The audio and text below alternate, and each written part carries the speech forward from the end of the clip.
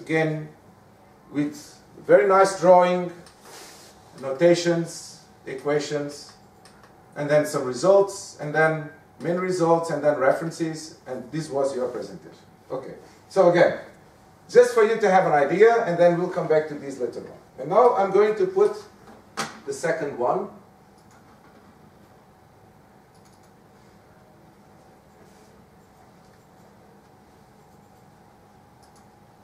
So this was presented at the conference. I don't, I don't know, is the author here? No? I'm one of the authors. Okay, Julie is one of the authors. So this was presented in a conference uh, that was held last year uh, here in, in, in, Moscow. It's a, a well-known conference. So again, the outline with some topics, then network deployment, some views about what the network deployment is, with some information and a figure. Then again, coming to the outline, some assumptions with the figure. Then explaining this uh, figure with uh, a title. Then of course the presentation continues. I'm not going to give, coming back to the outline. Then again another figure. Uh, this, this, the room, okay, is a little bit small, so you probably can uh, read all of these. Can you read these in the back? No. No, I think. Okay, but we'll come back to this. Then, uh, this full of equations. Then some, okay, let's go this fast, of course, just to show you this. Then numeric analysis. Uh, then some, so the idea here is to compare two situations, the unicast and the multicast. Um, then, of course, the, and then the conclusions, and then thank you. Okay, these were two presentations. Now, I'm going to once uh, sorry.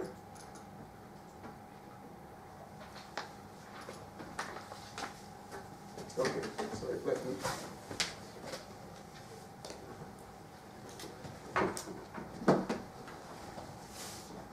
Okay so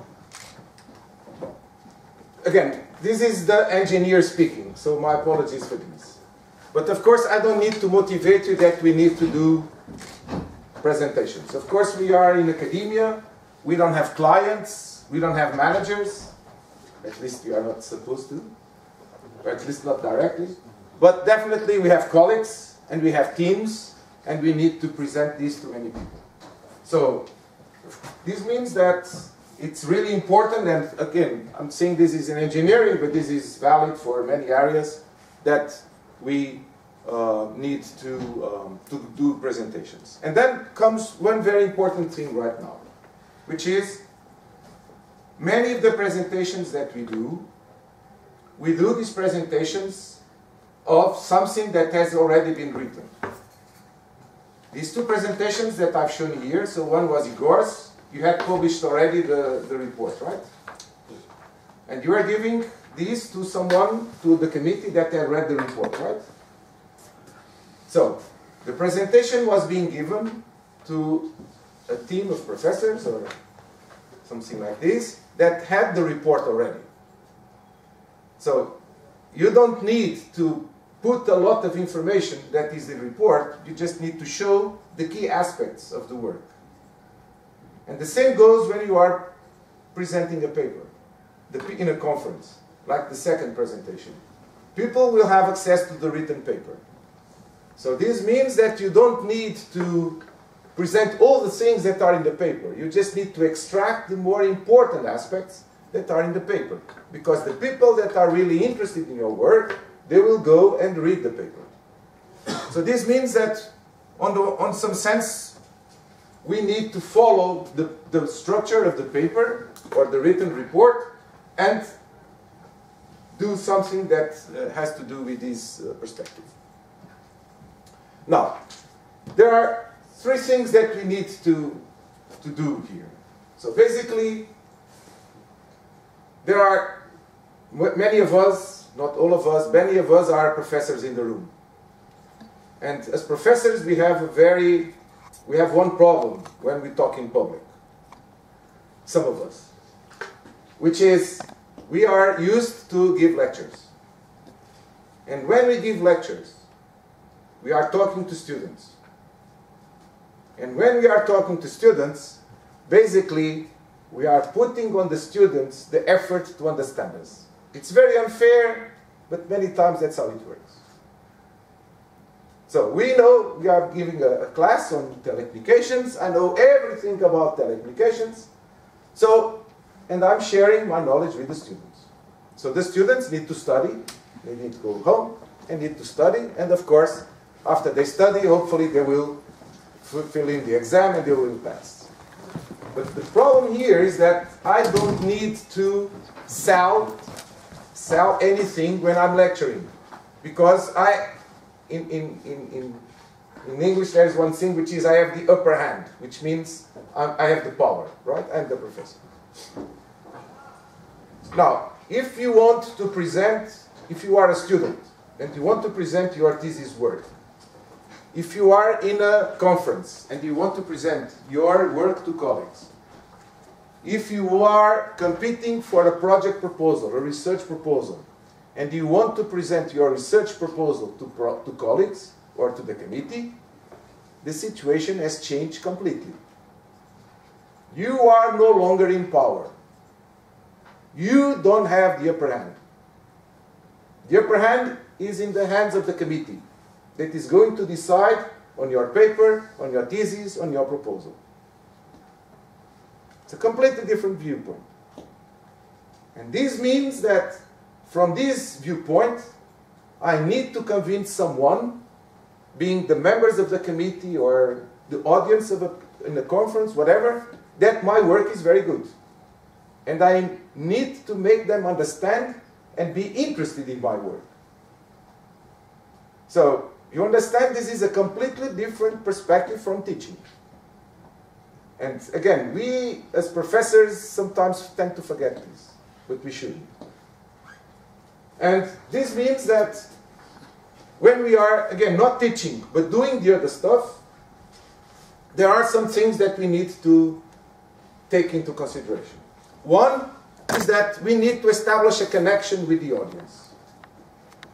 And establishing a connection means that the effort to be understood is cannot be from the audience. It has to be from my side as a presenter.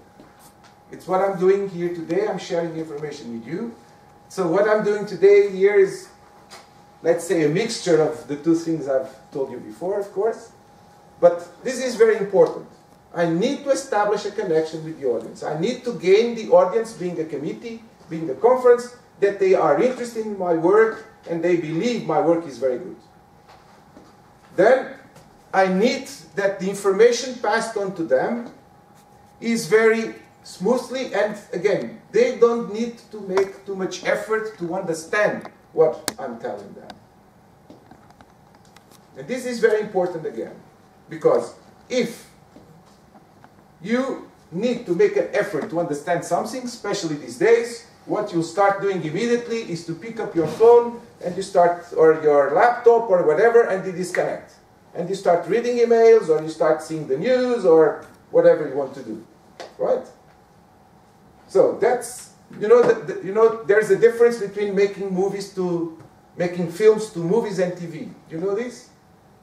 The difference is very simple. In when you make when the guys, not myself, I've never done one, yeah. But when they make a film to a cinema, you buy the ticket and you are going to be there for one and a half hours.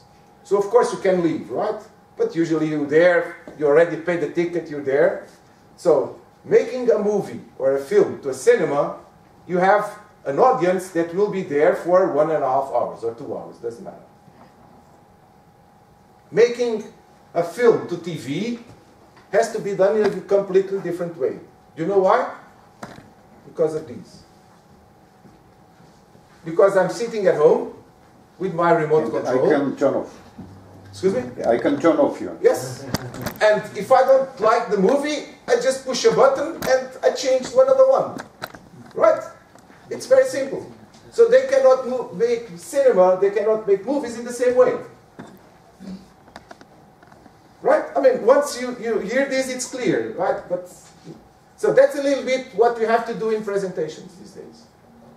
we need to capture the, the audience attentions, we need to show them that we are very good, that is unfair that we still have not won the Nobel Prize. I'm exaggerating, of course, but that's a little bit the idea. So, and this reinforcement means we have to be in a good environment. We don't want to insult anyone and all these kind of things. And, but there's one thing here, which is there's a key message we want to convey and to pass to people. And this is what we want to do. So, making a good presentation is choosing information. That's one of the key aspects of making a good presentation. How long have you taken doing your work? In presentation or No, no, the work. Maybe uh, Three months? no, Six months? two semesters. Two semesters, one year. So he has worked one year. And if you do a PhD thesis, you work four or five years, right? And then you have 20 minutes, half an hour to make a presentation. So can, can you do the ratio? The number of hours? I mean, it's 10 to the minus 10 or whatever, I don't know exactly. At bachelor level, they have seven minutes, Seven minutes, so it's 10 to the minus 12. not more. Whatever. After that, I interrupt them. See? Seven But the minutes. chairperson. And did six months the, the, the thesis? Yes. Six, six months. See? So do the math. I mean, I'm not going to do it, but each week, assuming they work 40 hours, so, you know, I don't know how many weeks, and then seven minutes. It's, the ratio is 10 to the minus 10 or whatever. So, of course, you are not going to present everything. That's very obvious. And the same happens when we go to a conference. We are not going to present the whole paper because we don't have time for that. We have 15 minutes, and the paper is 5, 10 pages. So the problem that we have is to choose information. And like anything else in life, this is a curve that you can easily understand. I don't know what is the mathematical equation for it, but it doesn't matter either. But this is the curve. Meaning, the more resources we have to do something, the less difficult it is. If this university would have twice as many professors, oh, it would be much better, right, Konstantin? Of course, each one of us would be teaching less and we have more time for research or for doing other things. If you have more space, then you'd be, the, the problem you're talking about, the, the, the, the length of the lecture. If you had more money, you had probably these in all rooms, but we don't have it. And the resource that we have to deal with when we are doing a presentation is time. We don't have enough time to explain everything. By definition, we don't have it. So we are, we are working somewhere in here, depending on whether you are presenting a paper, a thesis, or whatever. And you know, there are, there are, there are people which their profession is to work here close to zero. Do you know who these people are? People working in advertisement. They want to sell a car. Can you imagine a car? A car is a very complex piece of technology, right? It has a lot of things. Can you imagine someone selling a car and explaining all the things that the car does? It would take two hours and then still you would not understand because I don't care how the engine works and how the sensors are connected, right? For me, a car is a black box. But selling a car is by, these days, cars are sold by energy efficiency, right? They used to be sold by speed, but no one wants to drive a car at 500 kilometers per hour because you cannot drive it. So the key aspect for the cars these days, I mean, they show the design, but then is the, is the energy efficiency of the car. How much it consumes per 100 kilometers and this kind of things. So they have chosen one point out of the many, or the comfort, or whatever it is. So that's, that's the problem that we need to address here. So, establishing the connection. You need to create interest in the audience for the presentation. And this means that, contrary to what we are used when doing a presentation, uh, sorry, writing a paper, we need to call the attention at the very first minutes. The way we structure scientific papers, it's not, not saying it's wrong. What I'm saying is that the way you structure a presentation should capture the attention of people. So the abstract introduction, all these kind of things. And again, this effort needs to be done by the presenter. It's in our hands, it's in our shoulder to capture your attention as an audience and to make all the efforts that need to be done so that you keep listening at me until the end of this course today or workshop or whatever. It's my role to do that, not yours. If you start slipping, I'll just throw this. No, I'm joking. Okay, so this means that we can take, we should take some, let's say, scientific approach to these, because this is not just talking, right? And so the thing is, we need to understand the audience. Because again, doing a presentation in a conference should be different of doing a presentation to a committee that is going to evaluate the thesis. And should be different from a presentation to a committee that is going to evaluate the project proposal, research project proposal. There are different audiences, they want different things, and we should prepare different presentations. So we need to understand who are they, who are these people, what do they want, what, sorry, what do we want them to do, because again, if it's a research proposal, we want them to give us the highest mark, right? But if you are presenting a paper, we want them to be interested in our work. Because if they are interested in our work, then probably later on they will be quoting our work, they will establish in collaboration with us, different things.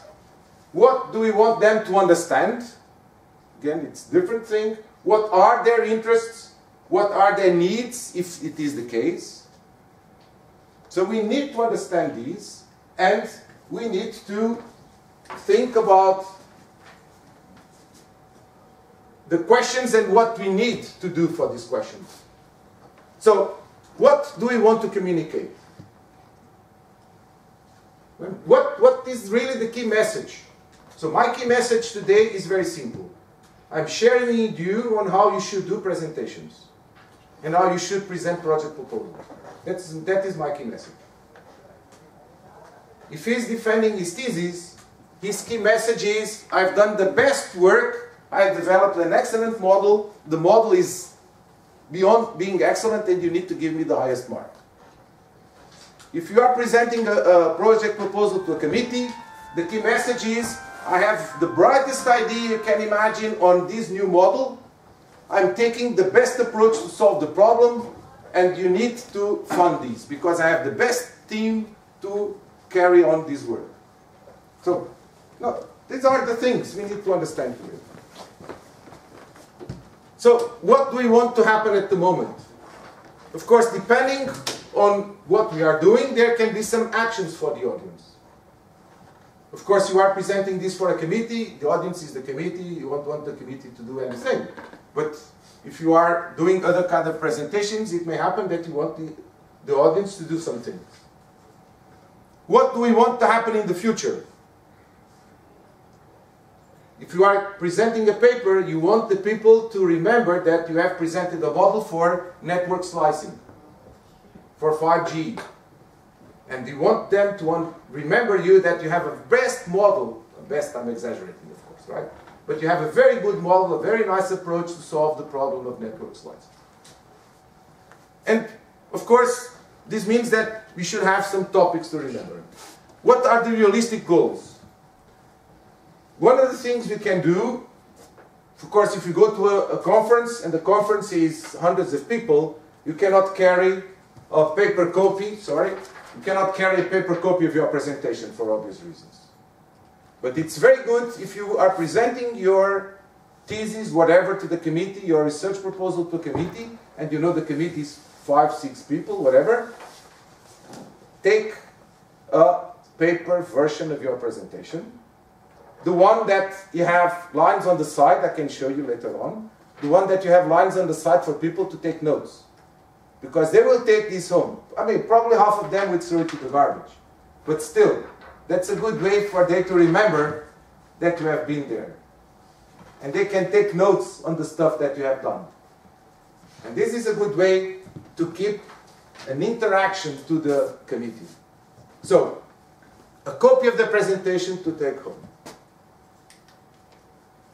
Then another things, what are the needs of the audience? Who are they? The list of people. You, you are presenting the, a, proposal to a committee. You know the committee in advance, right? You know where these people are? Google them.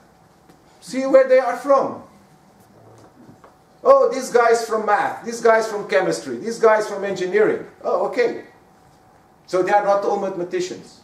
So they have, they have different backgrounds, right? Do these kind of things. Because these will help you communicate with them. What do they want to know? You can imagine potential questions, right? Obviously. If you are submitting a research proposal, you can easily imagine questions that can you explain the better model or whatever it is, right? So this is very useful. One of the ways of doing this is that after you submit the proposal, before the presentation, you share it with colleagues and you start teasing each other, right?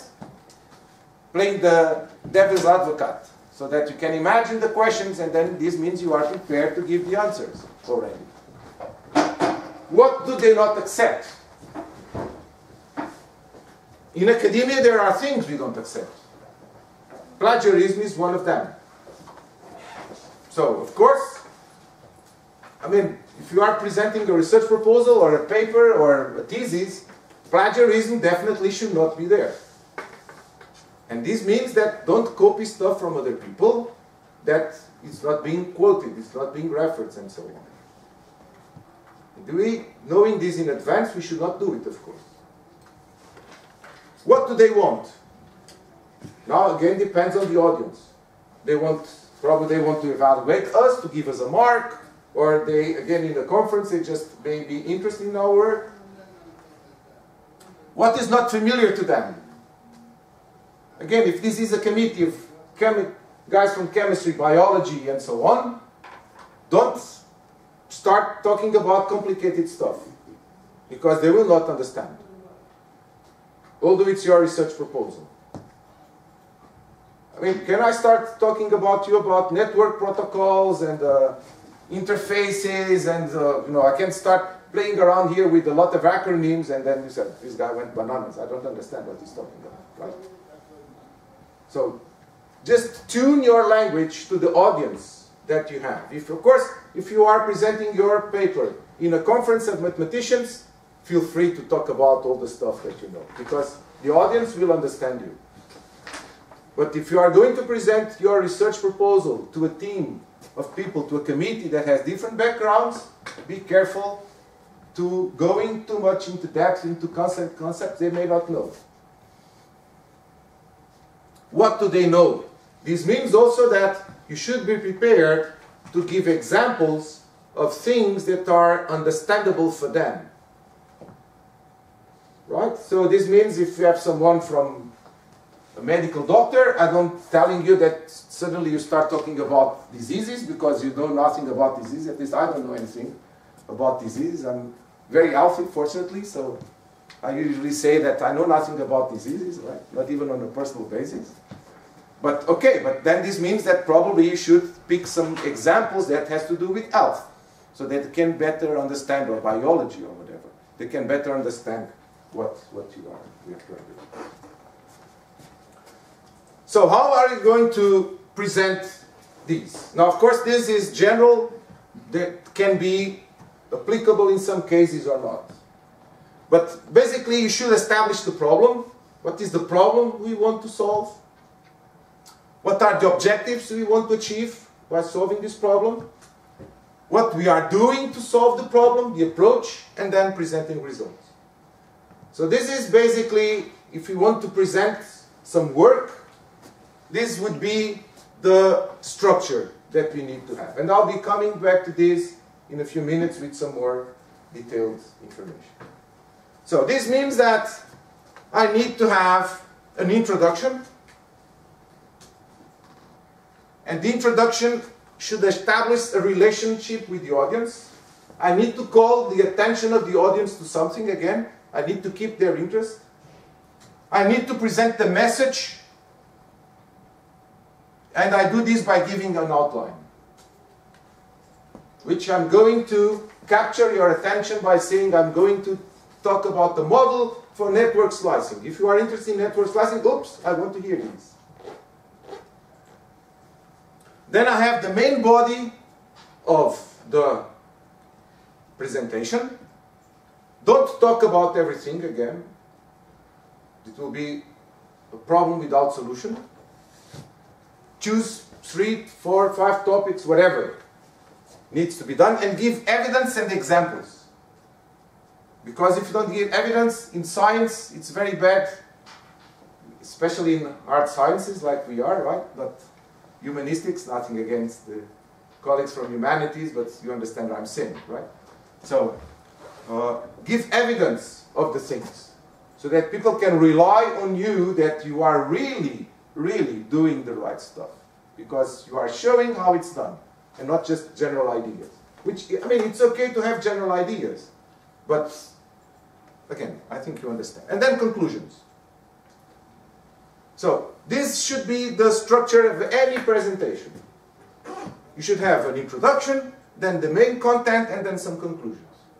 And the reason here is that here you are going to reinforce the message. You're coming back to the same message again. You introduce the message, you explain the message, and you re remind the message. This is a continuous effort that we are doing to call the attention to people to something. And then there will be some actions or conclusions or whatever. This is the problem that you have when you are doing a presentation. Which is basically, in the beginning you are very attentive, then very slowly you start reading your emails and you disconnect. And only in the end, when someone say, now it's over, thank you for coming, you're like, oh, it's over, good, I did it, I passed it. Right? That's this point here. Until, until you did it's over, ah, oh, you're already asleep. So the effort in doing a presentation is to prevent this from happening. You don't want this to happen in your presentation. Because if this happens, you're in trouble. Remember the remote control of the TV guys? Okay, you don't have a remote control, but you have your laptop or your mobile, smartphone, whatever it is, and you start doing other stuff. So we need to prevent this from happening. How can this be done? So, let's do it. The outline should identify the key points of your presentation. It's the first opportunity that you have to call the attention for the message. Again, I'm developing a, a, net, a model for network slicing, which is very efficient. It saves 50% of resources. Oops, 50% is a good number. 1%, ah, no one cares. 1% it's not. 50%, ooh, that's a lot. What? That's my message. I'm developing a model for network slicing that saves 50% of resources. The guys with the money, oops, 50%, that will save a lot of money. I'm joking, but you understand what I'm saying. So you need to take advantage of the beginning when people are attentive to capture their attention. Okay, this guy is developing 50%. Okay, I need to, to see how this is done because 50% is a lot. What? So now you start getting the attention of some people. So you need to do it here. It's the really when people are very attentive. And now, how can we, again, how can we prevent this from happening? Okay, we want this to happen. So it will not be a, a, uniform or a steady state because it's human nature, right? It doesn't matter if you're Portuguese or Russian, it's human nature. I mean, human nature is like this. We get tired and so on. So that's, that's how it works. But we want this to happen instead of these. And how can we do it like this? Okay, so the first thing is give examples. Because if you give examples, people will be more attentive, right? It's not just very complex information, even for mathematicians, I. Tell a joke. I mean, you're not going to tell a joke if you are presenting a thesis, right? The, the, the committee will not look it very seriously. But, you know, if you're giving a presentation like this, no, sometimes I can tell a joke, I can say something because, well, people laugh and so on, whatever. So, quote someone that is known. Right? This, again, capture attention of people. Oh, this professor has done this. Oh, okay, he knows this guy. Right? Establish an analogy. Give an example. Uh, I mean, I'm doing this network slicing. Oh, yes, because 50%, because it's very important. Even in former times, people did research in networks to optimize resources. So I'm doing the same thing. So, oh, okay, this guy's continuing some work that he's being done. Raise a question. Asking questions to the audience. It's a very good thing, right? Because suddenly you need to stop and start thinking, oh, okay, what can be my question, answer to this question? Introduce visual elements.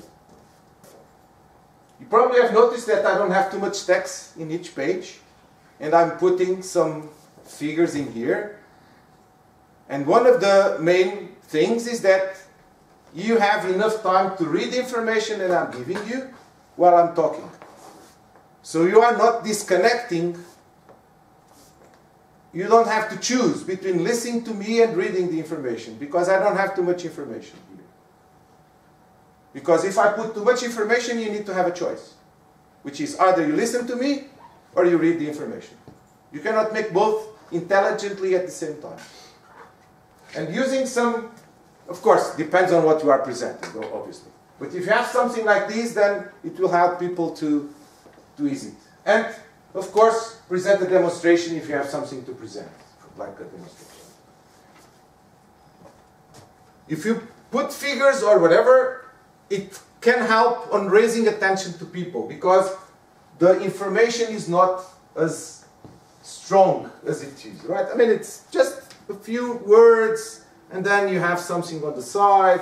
It's easier to read, it's easier to understand. Remember, the effort to capture the attention of people needs to be on the presenter, not on the audience. So I need to use any trick I know to capture your attention as an audience.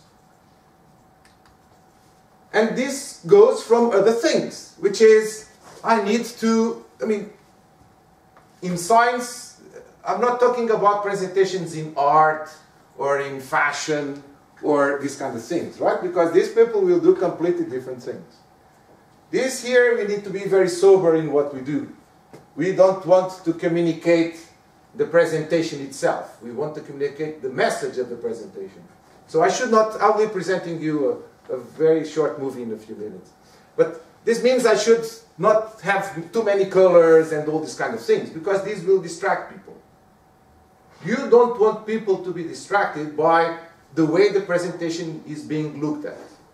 You want people to be focused on the content of the presentation, not on the way it's done.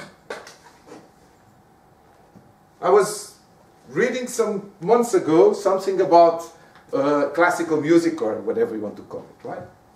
And why they are all dressed in black and white, right? You know these, right? You go to a concert and the, the orchestra is in black and white. And I was reading that even the ladies don't use their nails painted. And the whole thing is done for one single purpose. Do you know what it is? We want to capture the attention of the audience to the music. We don't want the audience to be distracted by the orchestra or the director. We want them to focus on the music. So we don't want them to start looking at the player or whatever, or because the lady has a dress. No, they are all the same, black and white. So what's the point of looking at them? They look the same. Now I can listen to the music. And this is a little bit, see the analogy now? See, I'm doing the analogy. So this is a little bit what we are doing here. We want these to be very black and white up to a certain point because I don't want you to start stop why is he using this purple now or this blue and yellow in the presentation? No that's not the issue here. I don't care about the colors. The colors are not important. And the conclusions then again remember the conclusions is something that you need to the conclusions is something that you need to, again, your last opportunity to call the attention to the message. You need to take these to people to go back home. They're remembering you. Oh, yes, that was an excellent presentation. This guy, this model is 50%. I think I can even do 75 if I do it myself. I have some ideas now. So, this means also one thing, which is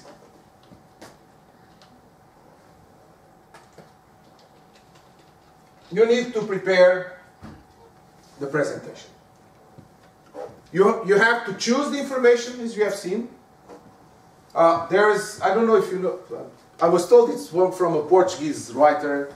I don't know if it's true or not, but at least in Portugal it's told as being from a Portuguese writer of the 18th century or something like that.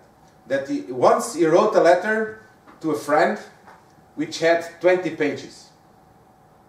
And in the end, he finished the letter like, my apologies, but I did not have time to write a shorter letter. Because this is the point, right?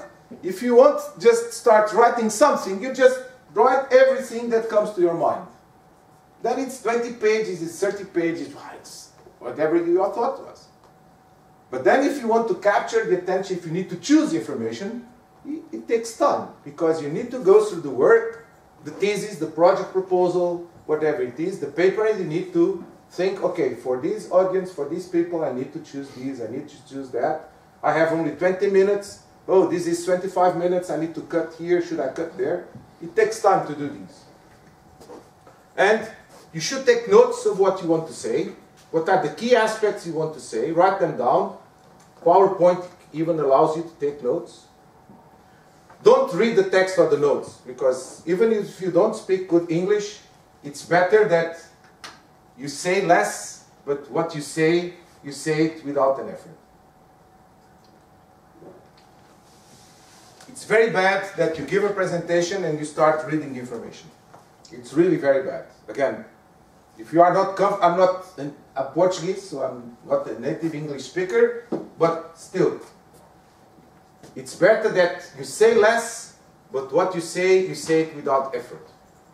Because if you start reading, the audience will completely, oh, okay. if he's reading, I, he could send me the paper, right? I know read myself.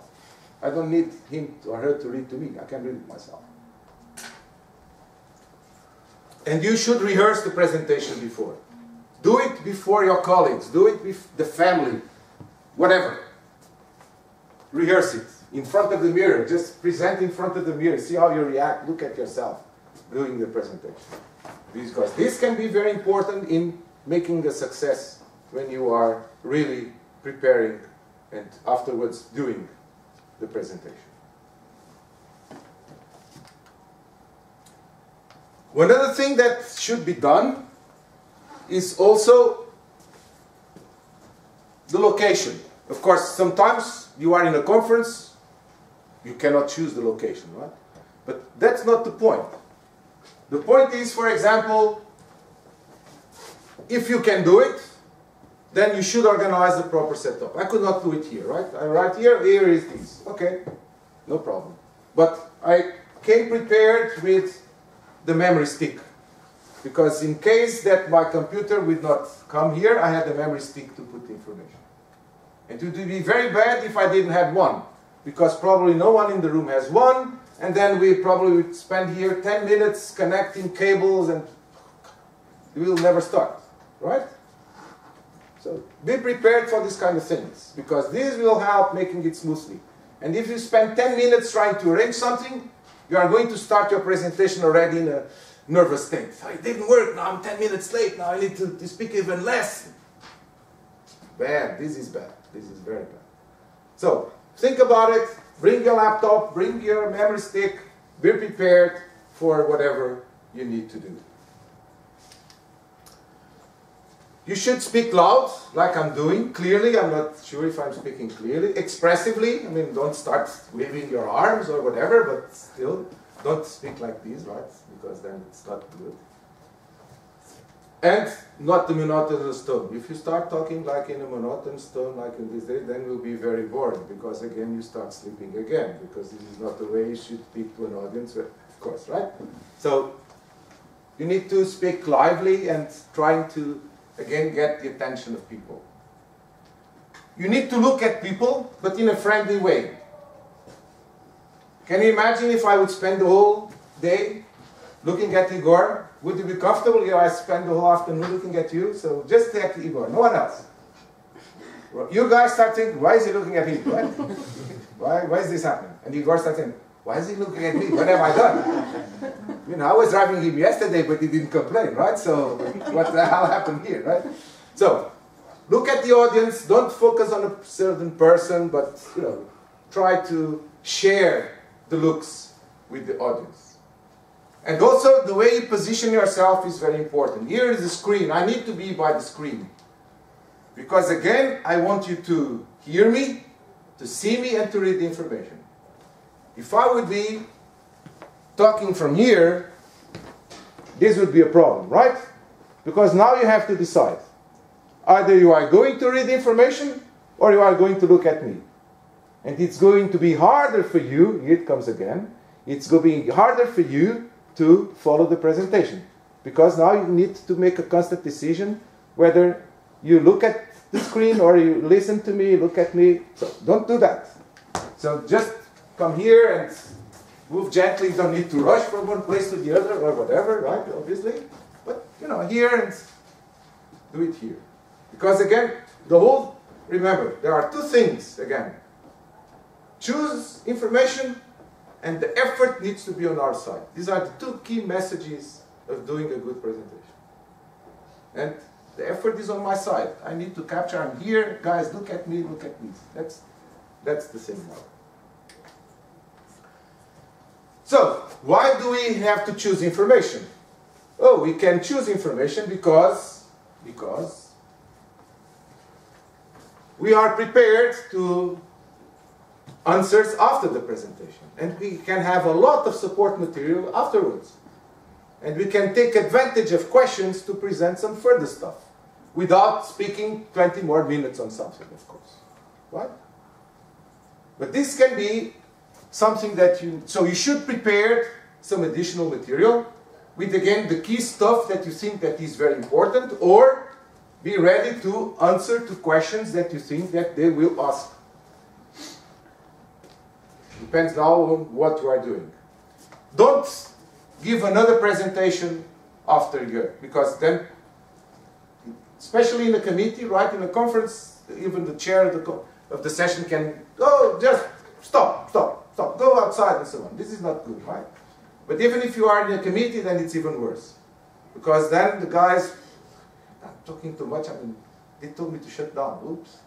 So the guys in the committee are not happy if someone is telling you, okay, that's enough, you, you're enough. Oops. The guys are not happy with you now, right? You don't want this to happen. So give concise replies, of course answer the questions obviously, and be prepared to give in a conference, for example, to give the details in a break. If you are really people interested in your work, talk to them in the break, or they will come to you in the break. They don't need to do this during the presentation. Okay, so this is the first part. Do you have any questions for now? Should I stop here or do you want me to continue? Of course, we are asking you to continue in English. This is very boring, I can stop, of course. it was very impressive and interesting. So let me then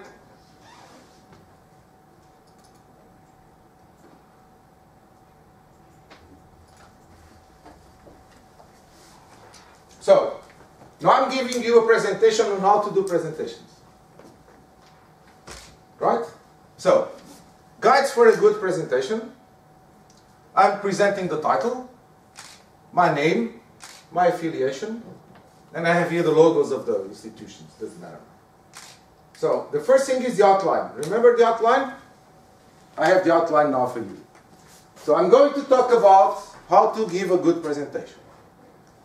I'm going to tell you about the basic principles of doing a presentation, the structure of a presentation, the sizes and the contrast of the information, of the written information, the style that should be used. I'm giving you some examples, and I'll be presenting some conclusions. So this is the outline of my presentation. one of the things you should not do is to keep presenting the outline. Because this will occupy time that you don't have. Remember, you need to choose information. So presenting the outline repeatedly is time that you are occupying that you should be occupying in presenting other information. You don't want to repeat yourselves with this information. You give it once and that's it. Don't repeat it. So, what are the basic principles of doing a presentation? So let's see, this is my introduction now. Right? So, the presentation of work is intended to present the major aspects of the work, not the whole work. So again, it comes back one of the main messages. And as I told you, because you cannot present the whole information, you cannot present the whole work, again being a research paper, a thesis, a project proposal, whatever it is. Selling a car, I don't think anyone in the room will be selling a car, but still, we cannot do it.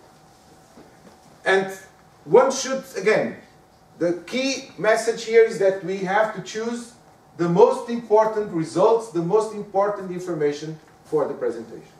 And we, we are presenting our work, right?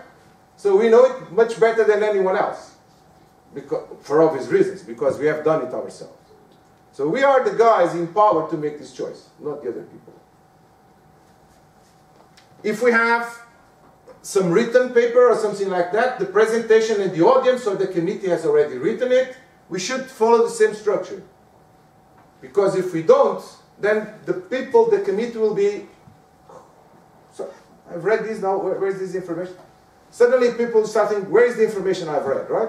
So don't do that. If you presented a paper, or again, a thesis or a project proposal, follow the same structure. Because if you don't, Again, you are putting the effort on the audience. You don't want to do that. And a very easy metric of trying to design, trying in the sense of having a sketch, a draft of the presentation is that you should have basically one page, one to two pages per minute of presentation. So if you are going to talk for 30 minutes, don't prepare a presentation with 100 pages. Because definitely you will run into trouble. Because you cannot present, you cannot give a good presentation of 20 minutes with 100 pages. For unless you have a very specific case that can happen.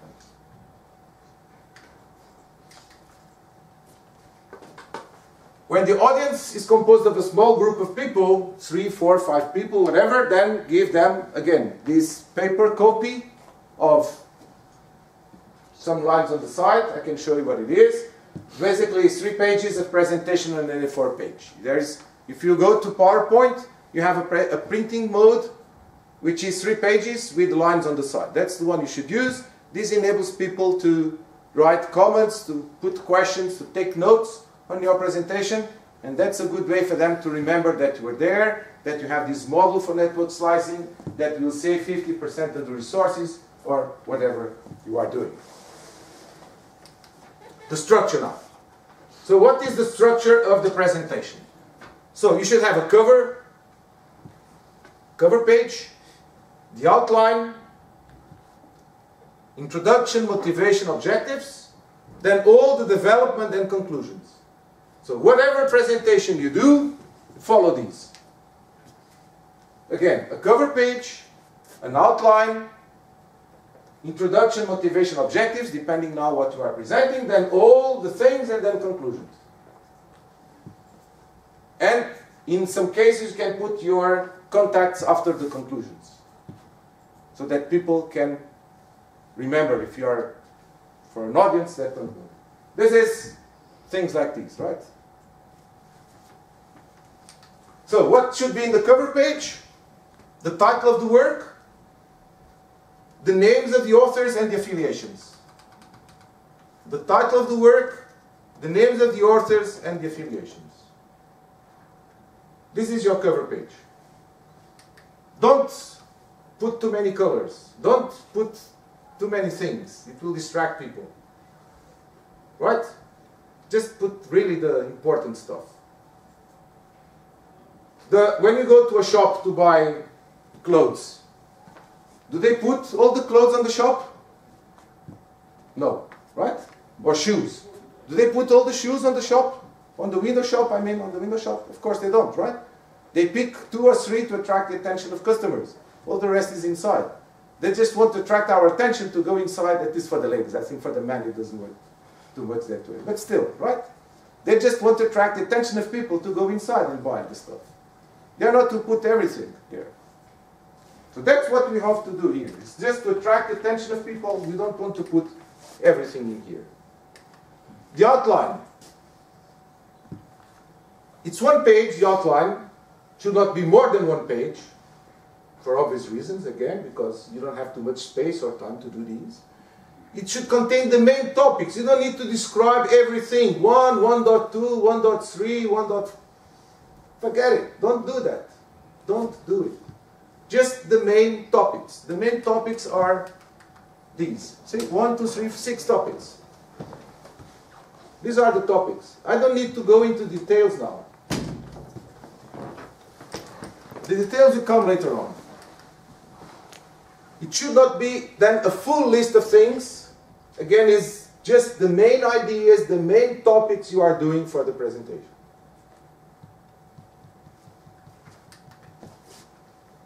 So, now this means that uh, it depends very much on the specific presentation you are doing. But these introduction motivation objectives can be all in one page, can be one page for each. Now, of course, it depends on the specific, specificity of your presentation.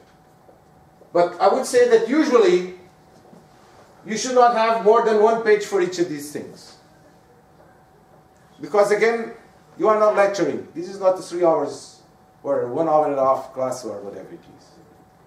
You have 20 minutes, you have half an hour, you have seven minutes. You need to choose information. You need to choose information.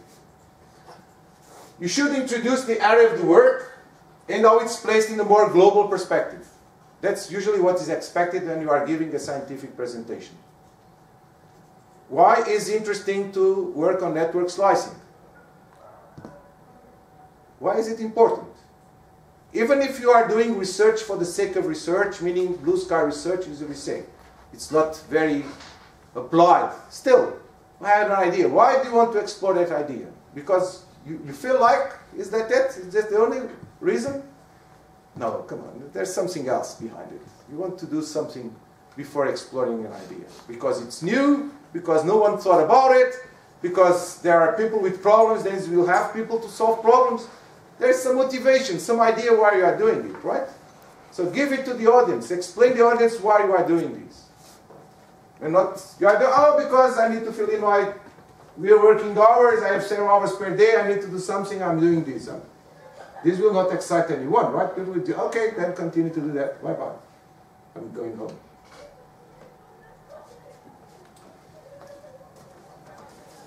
So, motivation, objectives. Objectives should be listed and indicating the main goals. I'm doing network slicing this model because I want to save resources. My goal is to save 50% of the resources. That's my objective. Sometimes, I don't know, this is not possible always, but as much as possible, objectives should be measurable. I'll be coming back to this for because of the research proposals. You should be capable of measuring them, putting a number in it. Because this will happen, being in an audience of mathematicians, this will have people to look at the things. Of course, you can have models, but in the end you have results, of course, it depends on the mathematics, of course, as well, but that's not what we are discussing now. Then on the development. So I should explain the models or algorithms or whatever I'm doing. I need to describe them and how they have been implemented. I need to assess them. This is very important in science, as you know. Because I can have a very nice model, even if it is an analytical model. The model, of course, I mean, if it's analytical, I can prove it's right, right? That's not the issue. But when I've implemented it, when I've did the programming or in MATLAB or whatever, maybe I've done an error and I don't notice it. The problem is not of the model, the problem is of the implementation. So I need to assess the results. I need to compare my results with something else to check if my model and its implementation are correct.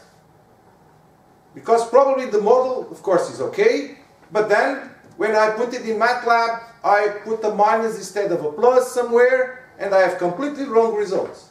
And if I'm not going to assess the models, the, the results, then I'm doing a huge mistake. And then the worst that can happen is that I'm going to a conference or I'm presenting my thesis or my research proposal. And, but don't you see that is wrong? Of course it's wrong. I mean, there's a, oops. What am I going to do now? This is not what you want, right? You don't want this to happen, definitely not. You need to analyze the results. And in engineering, I'll coming back to this in a minute or in a few minutes. In engineering, this means that you should have a relative and an absolute analysis, both of the results. Numbers per se, okay, mathematicians, numbers are numbers, doesn't matter. But for engineers, numbers are not numbers. They need to have a meaning. So, not just numbers by itself, I don't care. I need to have numbers with a meaning. So, of course, for you, this is not the case. And uh, identify the main results. Where are really the important stuff that, again, is the key result? It's 50%. I'm saving 50%. Guys, remember these? 50%. Do you want to know what 50% is? Increase your taxes 50%. Are you happy? No. So that's 50%, right? Yeah. Explain people what 50% is, because sometimes they don't understand what 50% is. So I have a small question. Yes. As far as I understand from the previous slide, you told that uh, uh, objective should be measurable. Yes? Yes, it's better. It's better that the objective should be measurable. Yes. Uh, something I can calculate, for instance. Yes. So let's uh, speak about the throughput of the network. So throughput modeling cannot be objective, but throughput evaluation can be. Yes. It's better. It's better. Yes. To put uh, the evaluation as about objective, but not modeling. Yes. No, you can have you can have the objective is to have a model But, uh, to save resources. Yes. And the then modeling is uh, the goal of the development of something of methods Yes, and so yes. on. Yes. but again, this is the engineering But perspective. Yes, because from the engineering point of view, of course. Yes. Yes. I'm talking as an from the, engineer. uh, I said this Theoretical mathematics, for instance. Yes, yes, then of course. Or philology. If you are from algebra, Mm-hmm. this does not apply. Right? Yes. If you are from algebra, is there for anyone from algebra in the room? I don't know. If you are from algebra, you have groups, you have corps, you have sets. You don't have objectives like this, right? You, Hilbert spaces, whatever you have. I mean, that's a different thing, of course. But um, again, and you are applied mathematicians, as you know, so you are. I, I'm going to say something which is very awkward, but I, you're probably even closer to, to engineers than to the guys from algebra. Sorry, sorry. But again, that depends on the kind of work you are doing. Okay.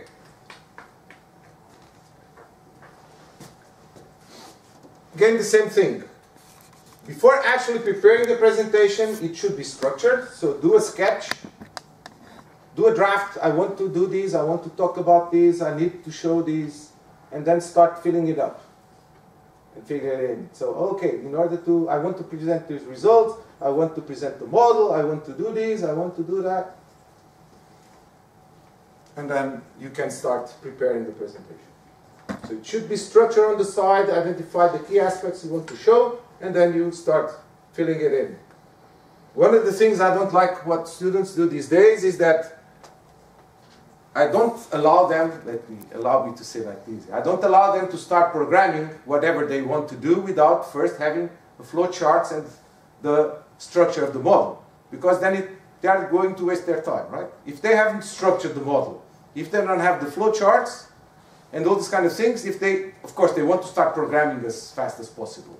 But then they are wasting their time because they have not structured their minds, they have not structured the information. So they, they will need to come back It's, it will be a trial and error process that will be very lengthy. They are paying themselves with time on these, these areas. It's basically like that. Sizes and contrasts. Each page should contain a few short sentences. See, not too many. Remember these. So headers should be written in, I mean, I'm giving here an example. It's Times New Roman 44 points or equivalent. Large font on the header. You don't want a small font here. The text, the rest of the text, slightly smaller. Let, don't use fonts less than 28 points. If you do that, people, okay, this is a small room. You go to a large room, people will not be capable of reading what you have shown. If they are not capable of reading it, why are you giving the presentation? You might as well show some pictures or drawings, abstract stuff, because anyway, the purpose is the same. They are not capable of understanding what you're showing. Right? So, I mean, go get some pictures. Maybe to show the complexity of the work that was done. For example, some diagrams with, sm- with many elements, with many details. It's very complex work. If the goal of your presentation is to, sh- is to show complexity, then it's okay. But still, people need to, to understand the complexity, right? if you want just to show a big equation, to show that is a, a big equation, okay, but don't you want to explain the equation to people? Just want to show that the equation is big? That's a choice you have to make, right? Yes, yes. That's a choice. Mhm. That's a choice you have to make. The color of the text should make a clear contrast with the background, so you can easily read the information. Sometimes people use backgrounds, and then you cannot read half of the text, basically. And all the information should be about the same size. So if you put, the, I mean, the difficulty of reading graphs or equations or tables is the same, right? So if you put a lot of things, again, people will not be capable of reading The style should be coherent and uniform. Don't have one page in Times New Roman, the other page in Arial, the other page in Calibri or all these fonts. One with a large letter, one in a small letter, one in red, one in blue. Remember, the orchestra is black and white. No colors there. You don't want the musicians to capture your attention. They are playing music. They are not there to be seen. Right? So your presentation is here to send a message, not to start people wondering why you have changed the font from Times New Roman to Calibri. Doesn't matter. I mean, that, who cares about this? What? Use complete phrases. Don't put topics because topics means people will not capture the ideas. Sentence should be complete. The subject, the verb, blah, blah, blah. Because if you don't do this, the message will not be complete. People will not understand what you're talking about.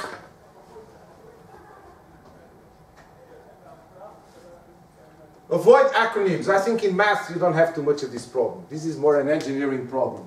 In engineering, we tend to use a lot of acronyms. And then people don't understand what you're talking about. Again, I think in math you don't have this problem. In engineering, it's terrible, I tell you. You go to many conferences and you see a lot of acronyms there, and I have no idea what these guys are talking about. Because I'm not from that specific area, so I just don't understand. I'm lost. I'm completely lost. Do not present references in the work. I, I know that in, in math probably you, sometimes you tend to do this, but in, at least in engineering we don't. We assume that again, you are presenting your thesis, you are presenting a paper, you are presenting a research proposal. These people have access to the written information. I don't want to occupy my presentation, which has just the key, the most important stuff with references. And I'm telling them if you want to see the references, go to the written information. I'm not going to put any references in there. None, zero. Unless there's a very important one for some reason.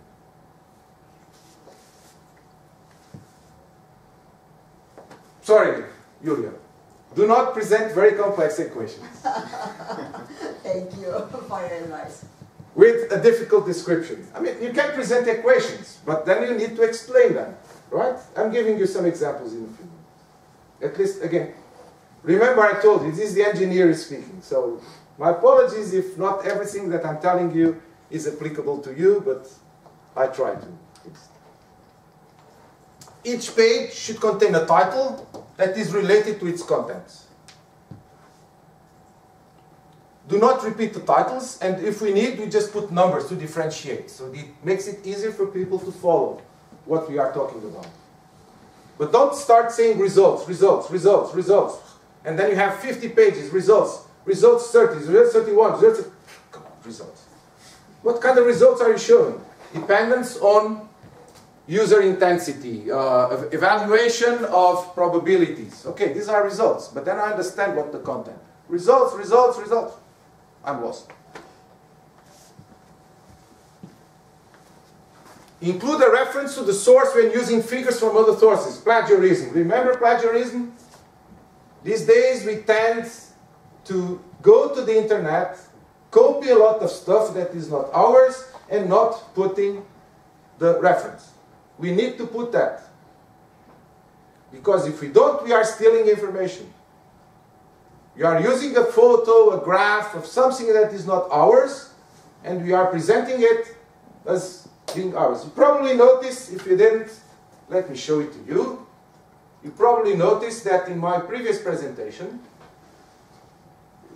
see, I'm always putting the source.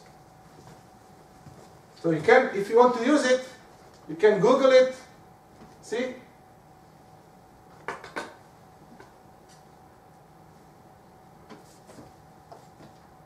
Of course, if you are presenting your own research, most probably you don't have this problem because you have done all the, the graphs and all the figures. But if this is not the case, then you know you have to put you have to put the reference. Uh, you can use this as a template, meaning I'm what I'm doing here, I'm applying what I'm telling you for obvious reasons. This is for the students, so sorry. Okay, this is, I would call, a bad example for text. Why is it a bad example? It's full of information, too much information. You start reading these, and you already lost, right? This is small, so people in the back can still read it, but if this would be a larger room, you would not read it. So this is not a good page.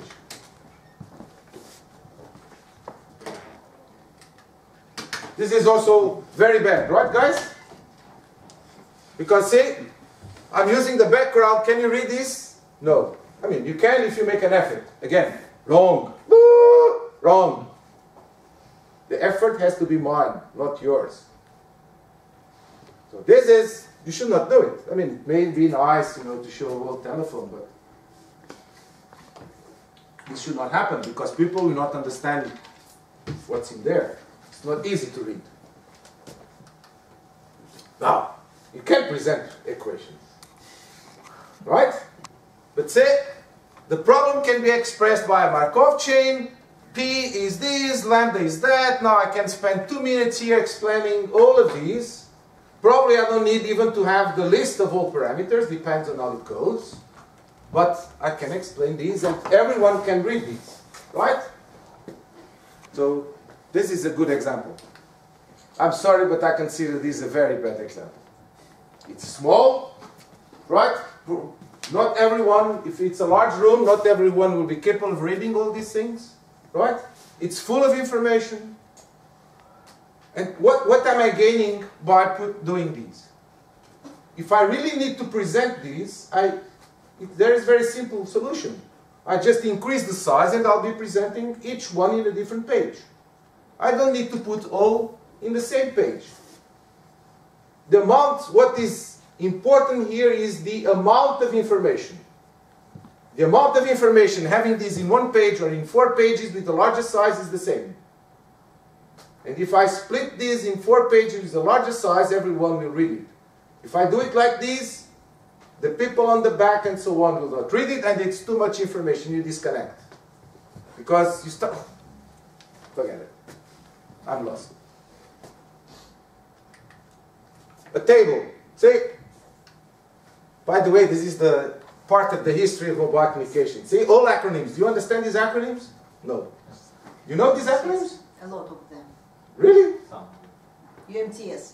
Ah, UMTS. This one, you know this one? GSM. GSM. Ah, yeah, do you know too? Okay, that's very good. CDMA one. CDMA one. CDMA1, Yes? Now this is the, the, the, the history. Now it's even LTE and so on. Right? But see, this is a table you can read, right? Okay, it has the acronyms problem. This is where the names of the systems anyway. But you can read. These are the when it was launched, the countries and so on. You can read this table. Now, can you read this table? No, of course. I mean, even if you even if you can read the numbers, because you are closer here, you're lost. You're completely lost in this table, aren't you? It's full of numbers, of acronyms, of lists. No one knows what this is. You're completely lost. You're not going to follow this. If you want to highlight something in here, just pick one case and show it. But don't show this whole table. Or if you want to show this, I'll be telling you how it's done in a minute. Or I can be done. What it's done. It can be done. So a nice figure again. Okay, some colors. Not to say that engineers are boring, only only black and white. So engineers also use colors some once in a while, right? But still you can use it.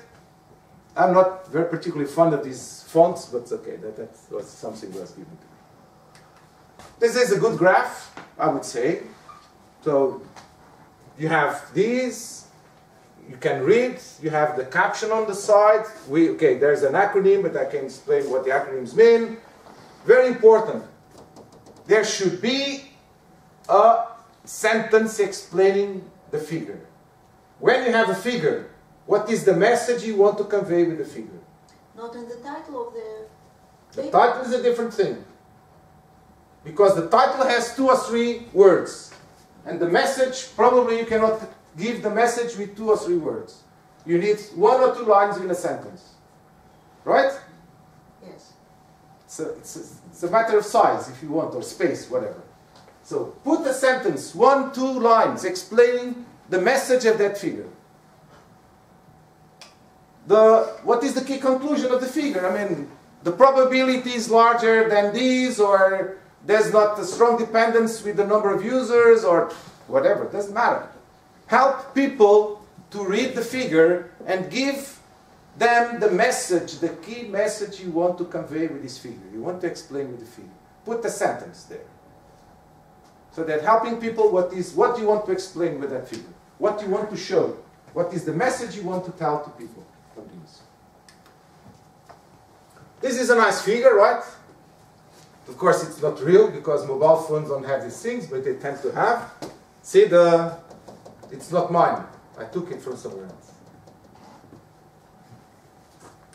This is a bad one, right? The sentence is on the back, on the bottom, sorry. This is bad. Why is it bad? Because if you are in an audience like this, the people on the back usually cannot read the bottom. So you should put the sentence on the top, not on the bottom. And a lot of empty space in here, see? Why am I leaving all these empty? And then probably the people on the back cannot read these because it's too small. So, not, not a good thing to do. What are the conclusions here? See, the conclusions. Now I'm reaching the conclusions of the, of the presentation. So, this presentation, what, what is the intended here? I've developed a model to save network slicing. This presentation gives some basic principles for a good presentation of a work. The main topic. Now, the content. The structure should be similar to the one of the work. What are the key messages? Fonts should be large enough so that it's easy to read the text, graphics and so on, the size, the effort stuff. Sentence should be short and complete with well-defined ideas. Again, the same thing. Each presentation, each page should correspond to one minute. And then, my contacts. So if you want to contact me afterwards, you have my name again, in case you have forgotten me in the meantime. My phone number, you have my email and my website, you can contact me. You want to know about my papers and all my research, go there. I'm not going to put them in the presentation. Is anyone here that does not have a computer with internet access? Of course, it's a stupid question. So I, I don't need to show that I'm the best guy in the world. I'm not, anyway. By listing hundreds of papers. If you are interested in my work, go there. And I have a website with this. And I've saved the time for capturing the attention for the things. Okay? So we should do a break, right? Mm, yes, for Yes. about 15 minutes maybe. Yes, but before we do a break, I want to show you something now. This is how we communicate. Sorry, sorry, sorry. This is what we don't want. This Uh, oh, Oh, okay, it's 100%. So this is a, I got it from YouTube, and this is a, you know what, the United States, they have something they call stand-up comedy. You know what it is? It's just one guy talking and telling jokes. So this is a guy, he's a former engineer, it had to be, right? And then now he's, I mean, a, a colleague showed me this, So he's a former engineer and he retired or whatever happened to him. And now he does stand-up comedy, stand-up comedy on uh, doing presentations. What I tell people all the time, this is how we communicate in today's world. Okay? This is what we don't want. This is typically called life or death by PowerPoint, right? We've all we think in PowerPoint now. I was actually, I, this is a true story. I was in uh, driving through Colorado a couple years ago. I hit a patch of ice on I-70 coming out of the Eisenhower Tunnel, going like you know 65, 70, maybe 90 miles an hour. And I started spinning at top speed, and my life flashed before my eyes, and I swear to you, it was in PowerPoint. And how bad is PowerPoint got? This is actually the number of PowerPoint presentations per day. Look at that, it's 43 million per day in uh, 2007, 54 million in 2008, 69 uh, million this year, 88 million per day next year. Now I at this chart, look, that is growing, you know, exponentially. I at this chart, here's home foreclosures by a year. You see, that's going about the same way. I realized that PowerPoint actually caused the mortgage meltdown.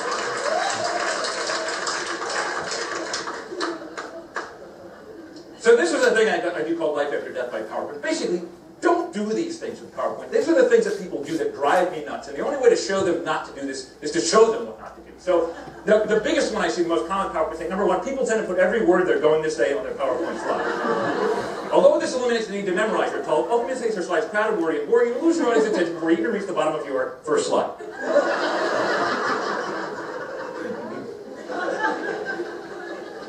Second most common, uh, font size is important. Size matters. Too small, and that's not that's not good for anybody. On the other hand, too big and you don't get more. You just look like an idiot. Uh, don't have your fonts moving. Keep your text stationary. There's nothing more annoying than text that does blinking. Don't have it blinking. Don't have it spinning. Don't have stuff flying around the screen. You drive people with ADD crazy. Just like, oh, what's happening? Oh. Now, since I'm talking about fonts, people are really into fonts. I've noticed this. Here's a great. Here's a, by the way, this is a, a, one of the best joke jokes that I know. A, uh, uh, Comic Sans and uh, Helvetica walk into a bar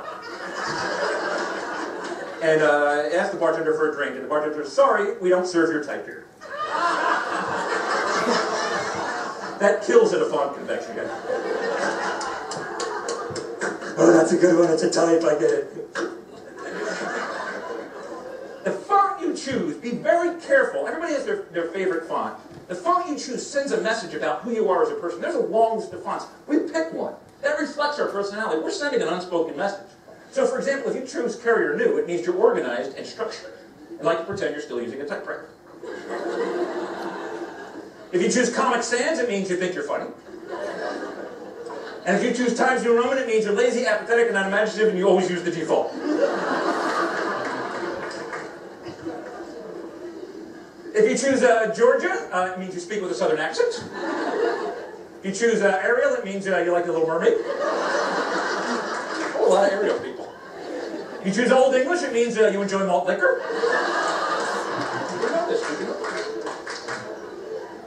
Uh, we got a few more. Helvetica, Helvetica, that means uh, you're a mayonnaise lover. That's a stretch. That is a stretch. Uh, Blackadder, that means you're an African American accountant. That one requires some thought. Sorry. And if you like wingdings, it means you're a nerd and you have no life. Now, uh, if you type in all small letters, some people do that, all small letters, that means you're quiet, shy, and unassertive. If you type in all capital letters, that means uh, you yell a lot. Somebody over there. If you type uh, small letter followed by capital letters, it means uh, your cap flock is stopped on. Don't you hate when that happens? You're usually going along for a while, you look up, oh darn! And then finally, got a mix of capital letters and small letters. That means uh, this is a ransom note and you are a kidnapper. Very hard to do that. Uh, the fourth most common power command, avoid excessive bullet pointing, only bullet key points. Too many bullet points, and your key messages will not stand out. In fact, the term bullet point comes from people firing guns at annoying presenters. This slide, by the way, has crashed PowerPoint. Apparently, there's, there's a max about how many bullet points you can have, and I, I said, pressed it. The other thing you can do is have animations. People love animations. They have stuff go zooming in and out and left and right. You get seasick watching some of these. And turns out if you're a visual learner, your effectiveness as a speaker will go up with the more animations. But if they're easily distracted, they are not even paying attention to what you're saying. They're just watching the cool stuff. And there's regions to this graph. There's the simple but effective region, the active but confusing, the uh, effective but boring, the uh, active but ineffective, the dull but static region, the uh, busy but useless region over there, the ADD only region there up in the corner, the useful amusing, the stupid confusing, the double triangle, the hyper triangle, the uh, sleepy square, the dizzying pentagon, and then everything else is just grouped into what's called pointless motion. This one slide, by the way, took me three and a half weeks to make. True. It's all, PowerPoint can suck the life out of you. Now, one of the biggest dangers today, and I'm telling you, I, I hear it more and more every time I hear a conversation, is what I call SAOD, or Severe Acronym Overload Disorder.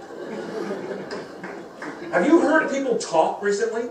There are no words going between, yeah, I am my CFO about our ROI and our CRM and our RP, and it turns out our EPS is really SOL, so we better do something ASAP.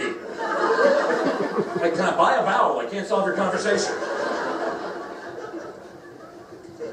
And I made up this resume, but this could be a real resume in today's world. Look, I got an MBA from USC, an MSEE from MIT, a BSEE from uh, DU. I worked at uh, IBM, HP, VLS. I remember IEEE, EIT, NCAA, NAACP, RPA, AAA.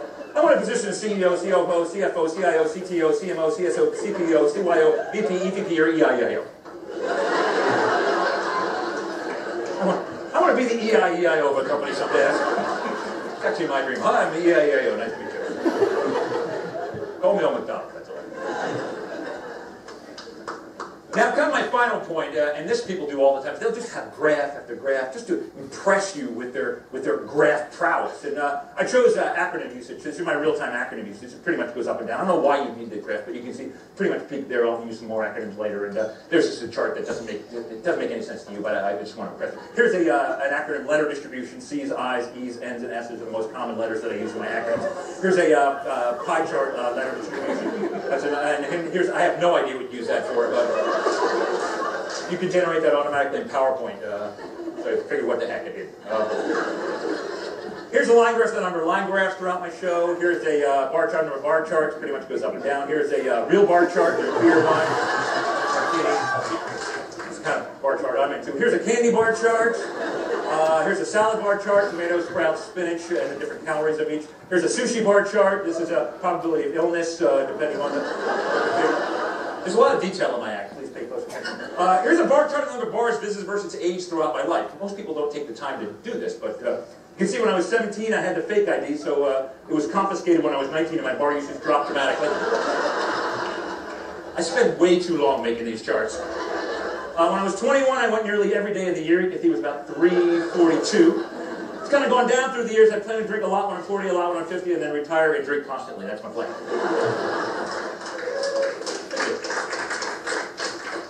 Uh, here's a spreadsheet of spreadsheets. Getting back to the charts. Here's a uh, spreadsheet of spreads. Butter, margarine. I can't believe it's not butter.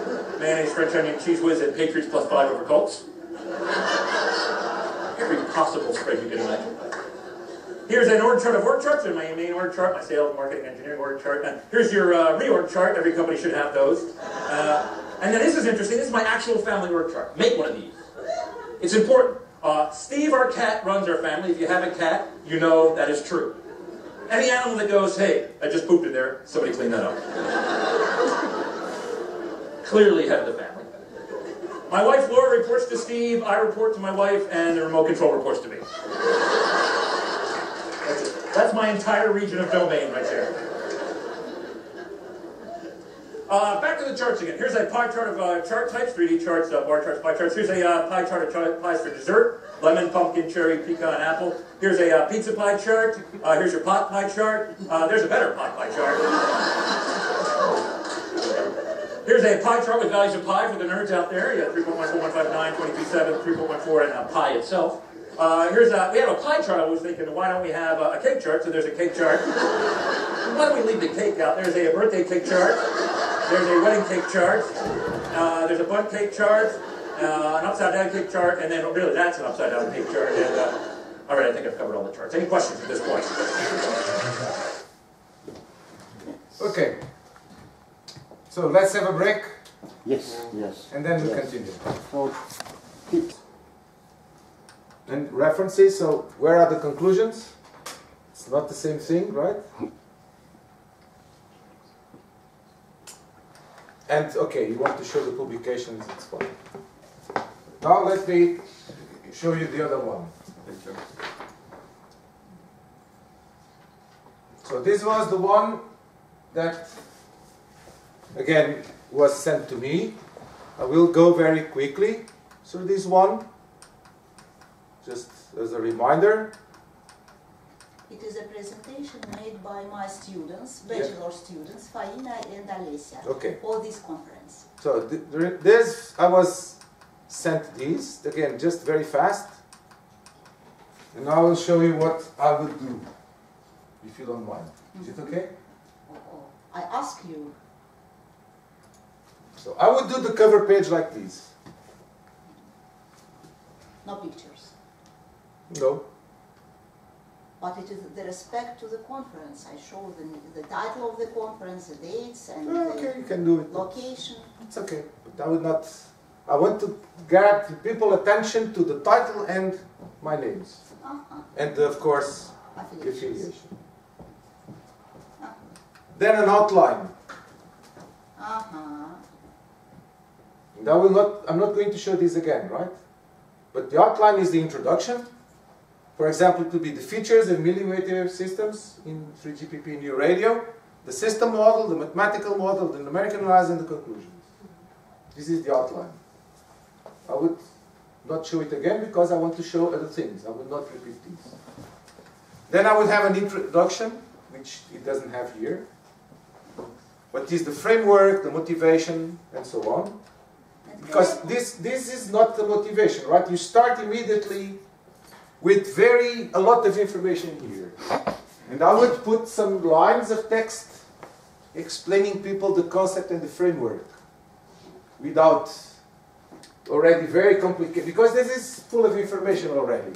And people will start, where am I? I mean, lot of information. And the other thing is that I would put some bullets to make it easier for people to read because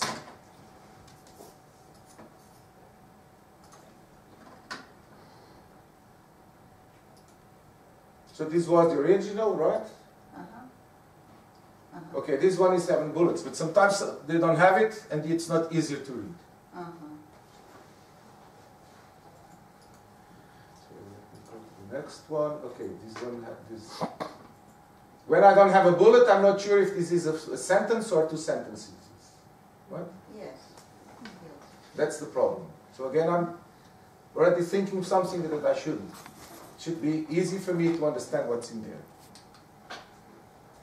And okay, I, I'm destroying this presentation because I've not read the paper. But if this has been shown once, I would not show it again. Uh-huh. If this has been if, if it's here, I'm going to explain it here, right? So there is some break, of course. Yes. So I'm not going to show the figure again because it's going to distract people. So the next page, I would not show this. Meaning, what? I would not show it the second time. It's the same figure. And again, I will not put this because it really doesn't matter that if it's figure one or three or four. I'm here to explain this to people. Uh-huh. Again, I will not repeat the outline, the assumptions. Okay, I would explain the assumptions. Now, let's remember sentences must be complete and so on. Multicast says session, transparent service. What does it mean? I will tell the audience all the, Put the sentence here explaining. Are you considering a transparent service? Transparent services are not being considered. Are they important? I don't know. Transparent service? it should be explained on the next slide. What, how, how can I uh, put it here? See, see the next slide? It's not self-contained here. I, I, I'm reading these. I don't know what what it means. It would be overloaded.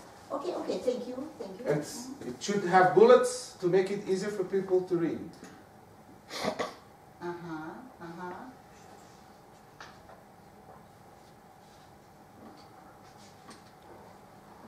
Then let's go to these. Ah, yes, yes, this is explanation of what is So, multicast, this is- multi-transparent source. Yes, this is explanation. But then here we don't have a sentence describing the figure. Uh-huh. And even the parameters that you have described, some of them are not fully described in the, in the presentation. A lot of them are not fully described, yes. So, you are not coherent here. You are describing just a few of the parameters, not all of them. Right? Right, right. So, is it or is it not important to describe the parameters in the written text? Either you describe them or you don't, right? Because this is full of, it's xi, it's u of u, but when I go through the presentation, I don't know in the end what it means because it's not written here. Yes, some of them should be put on the slide.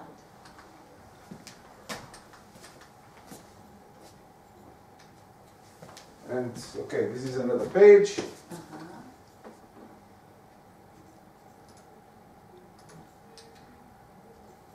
Okay, this is again this is another one that I would put the sentence describing here. And here you are describing the parameters, which is fine. But then what's VFT or VT? It's not there. Mm-hmm. Right? It But isn't very important. Something is missing. Excuse me? This parameter i- wasn't very Don't put it. Uh-huh. Yes, right, right. It's not important, don't put it there. If it's not important, Yes. it's not, don't put it there. It's, uh, again, this has not been described, right? Okay, let's skip this. Few, okay, I would not put this. Uh-huh. What, what is lambda, what is mu, these things have not been described, right? Uh, And the other thing is that I would not write it. you- You have here, and then you have these, and I'm a little bit lost what it means. I would put it this way. Parameters, mathematical modeling. uh,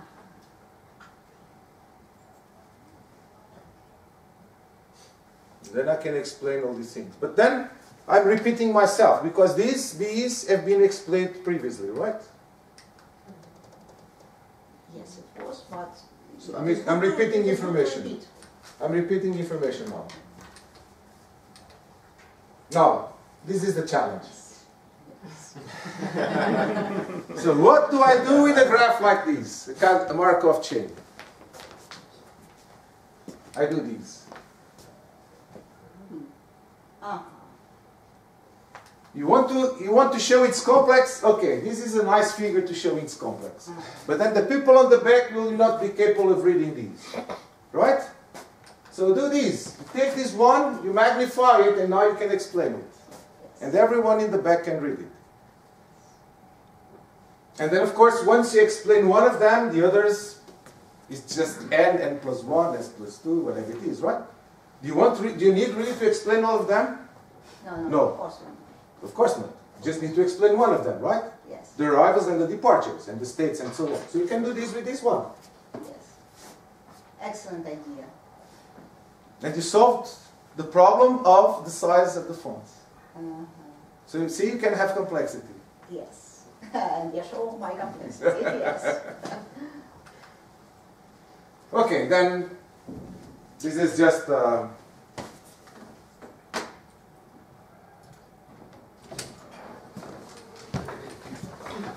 again, I would not put all of this information here.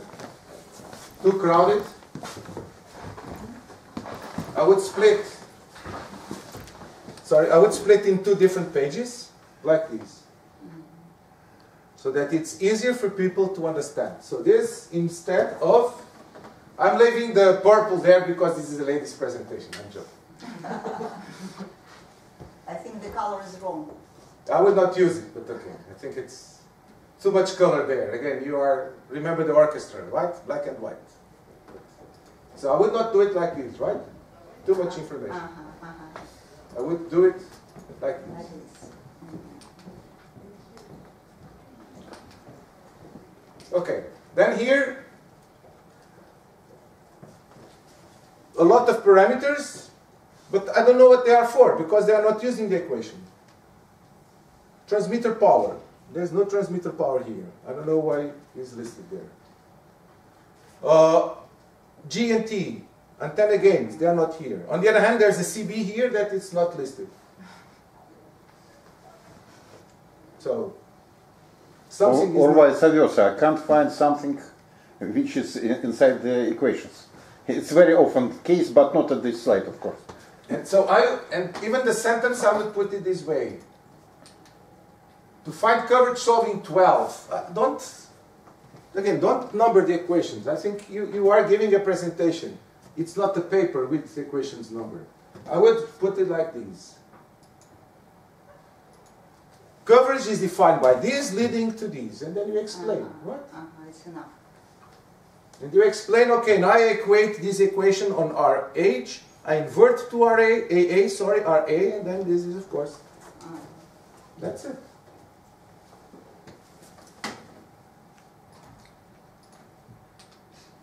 Okay, I think. Uh.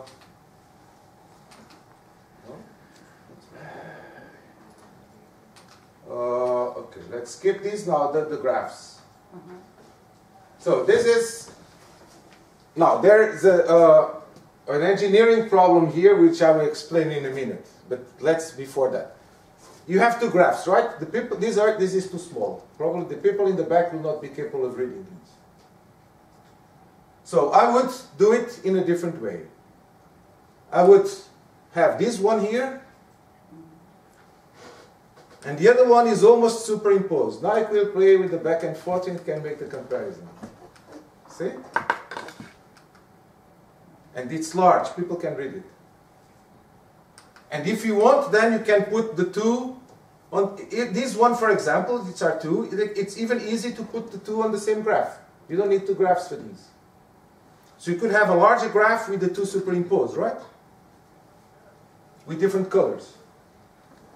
You'd have a large graph with the four curves, and you could separate the unicast, unicast, multicast by green and red or whatever. And I would put, even to make it easier, probably different colors in here. Now we can use colors because it's easier to dash, dot, dash, that. It's easier to use colors. And now this is an engineering thing, not a mathematician one. But if you, when you're talking to engineers, you need to be careful. That's why I'm addressing you these. In engineering, a drop probability larger than 1% is a disaster. A network will Maybe collapse. even less. Maybe even less. Yeah, 1% is Yes, the maximum. Right? So what I want to say is, of course, in mathematics is it's fun. I'm not complaining. When calling your attention is to this thing. Depending on the audience, if you'd be giving this presentation to an audience of engineers, engineers look at this and say, yeah, mathematicians.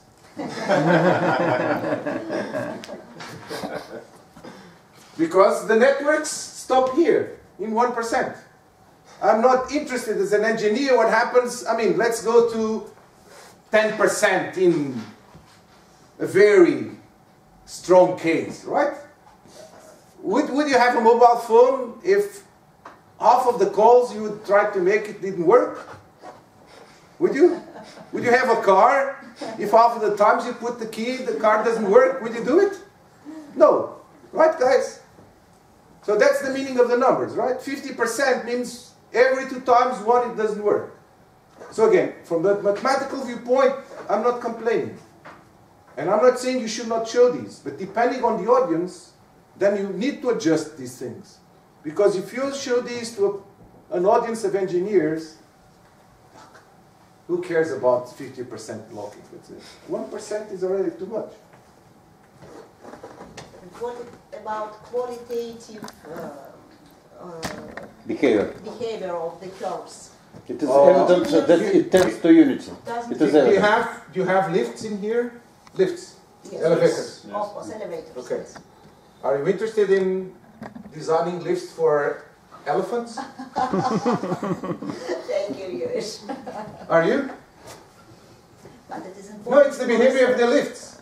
Again, depending on the audience, right? Depending on your, on your audience. Depends on the audience. Remember one of the key things, you need to study your audience. I'm not saying this is wrong, Julian. Don't misunderstand me. Of I'm saying it depends on the audience to whom you are speaking, which is Right, a different thing. Depending on the audience. It's a different thing. If you are studying this from the mathematical viewpoint, okay, you are giving the trends and all these things. I'm not complaining, let's put it this way. But if your audience is an engineering one or a applied one, whatever you can call it, then you need to know the things, or you should at least. Because you don't want to design lifts for ants, because ants are very small, or elephants. And you couldn't care less the trend of the lifts for elephants or for ants. Lifts are for people, like us, right? Unless you are in a zoo, and then, okay, then you need to adjust the, the lifts to the ants or to the elephants, or to the giraffes. But then you are designing lifts for a zoo, not for a university with people. I think mathematicians uh, desire, want to show that we can deal uh, both with the uh, people, with the elephants, with the And fishes. right you are. But again, depends on the audience. Yes. yes. That's my point.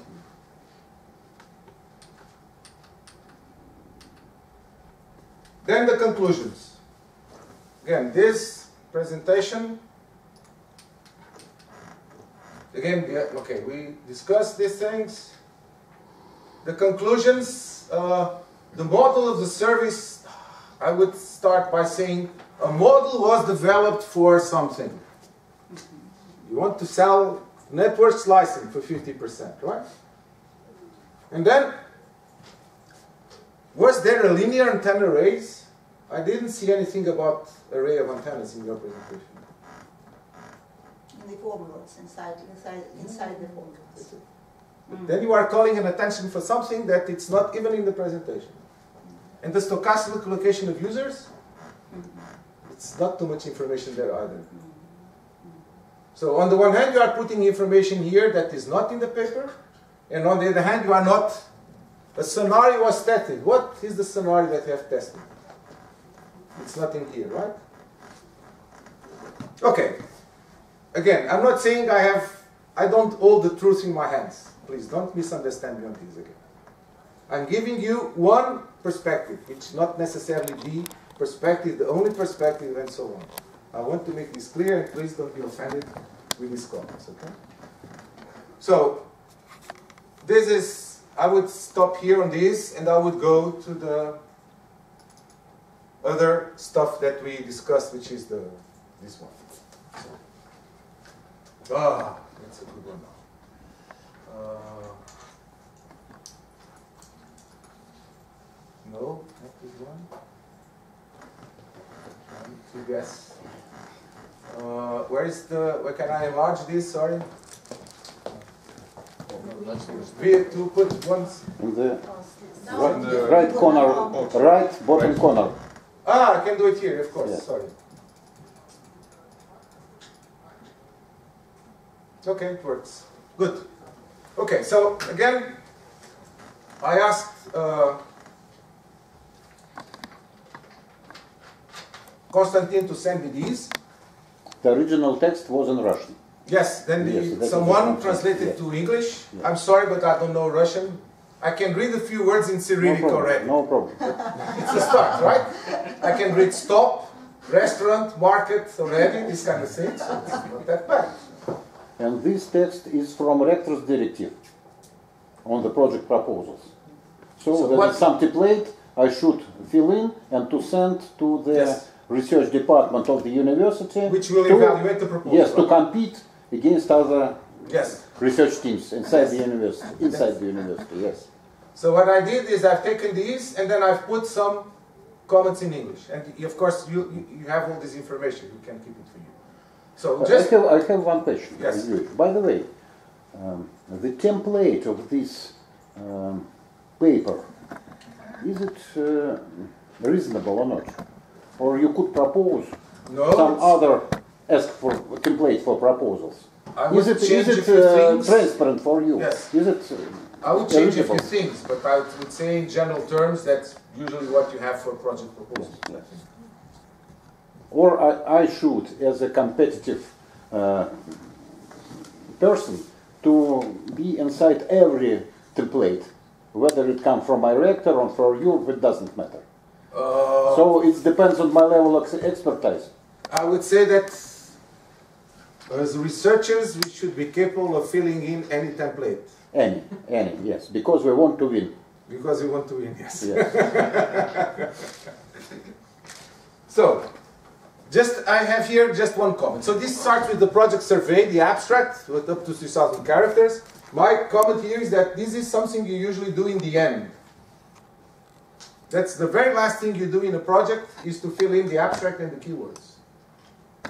Sometimes people start by writing this, it should be done in the end. Because only in the end we have all the information in our head to do it. If you do it in the beginning, it can happen that this does not fit the rest of the content. And this is a problem for evaluators because, oh, because people start reading these and they, they don't find the information in the proposal. Okay, out. Is promising something that is not going to deliver.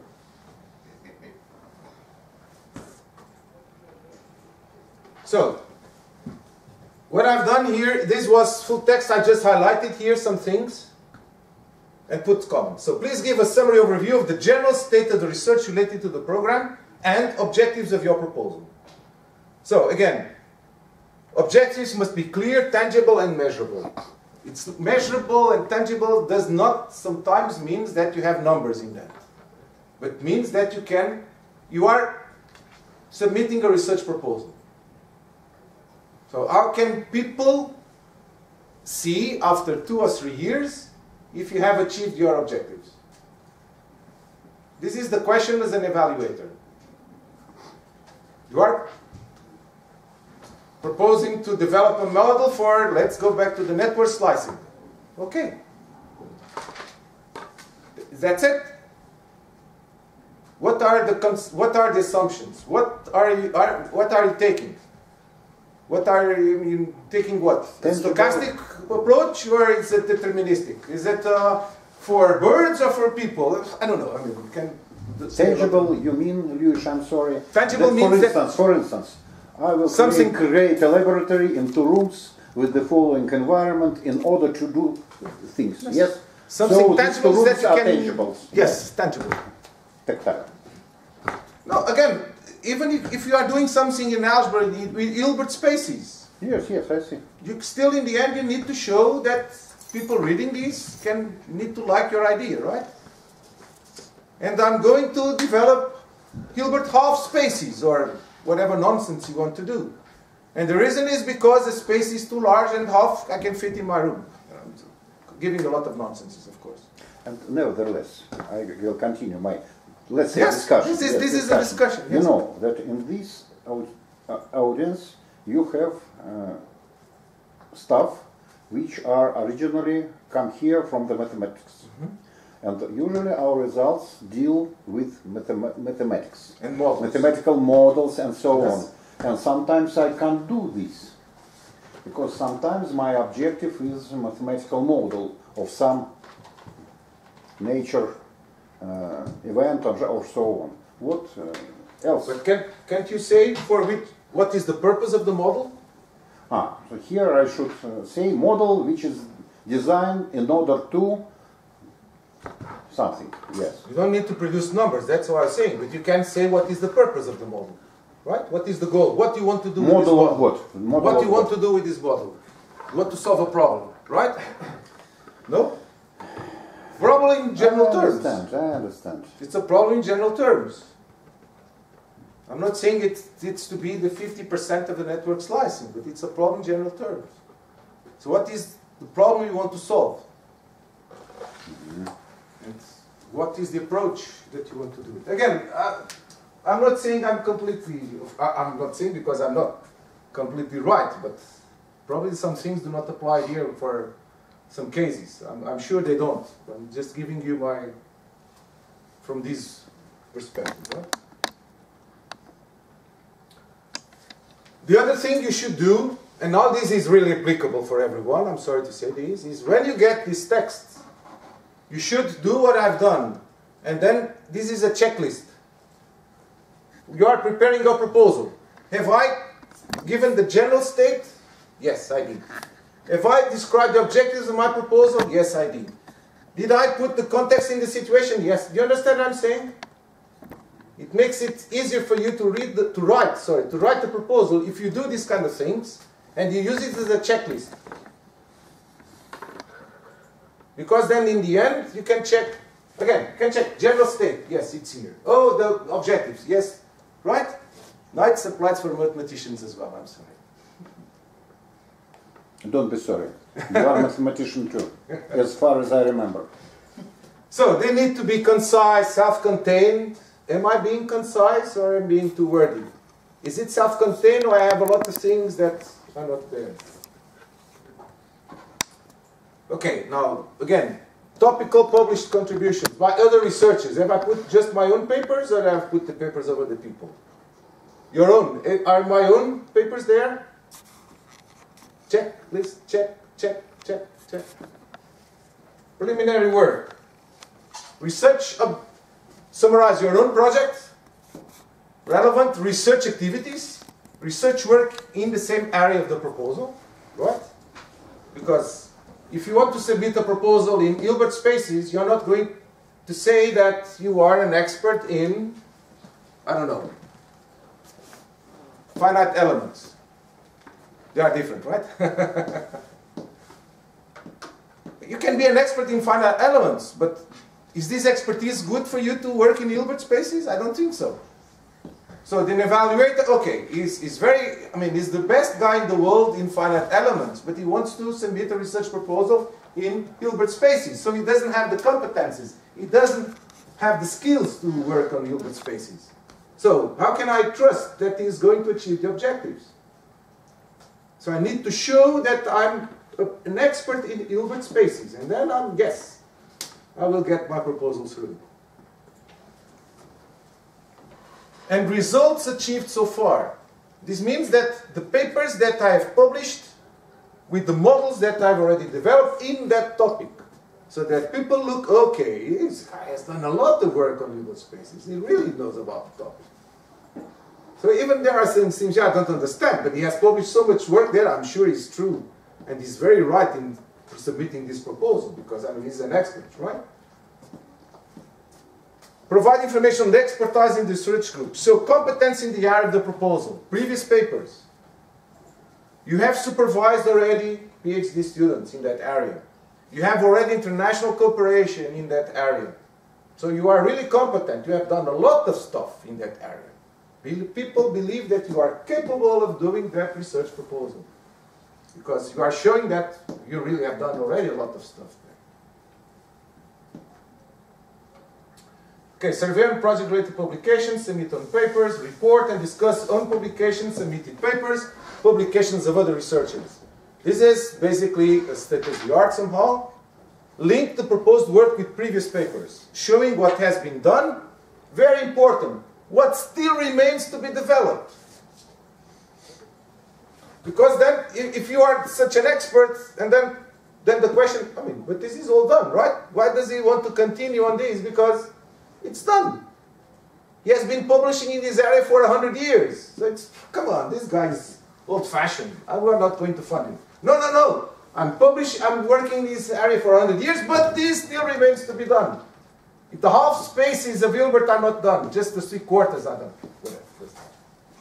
Right? Highlight that to the reviewers so that they understand what still remains to be done.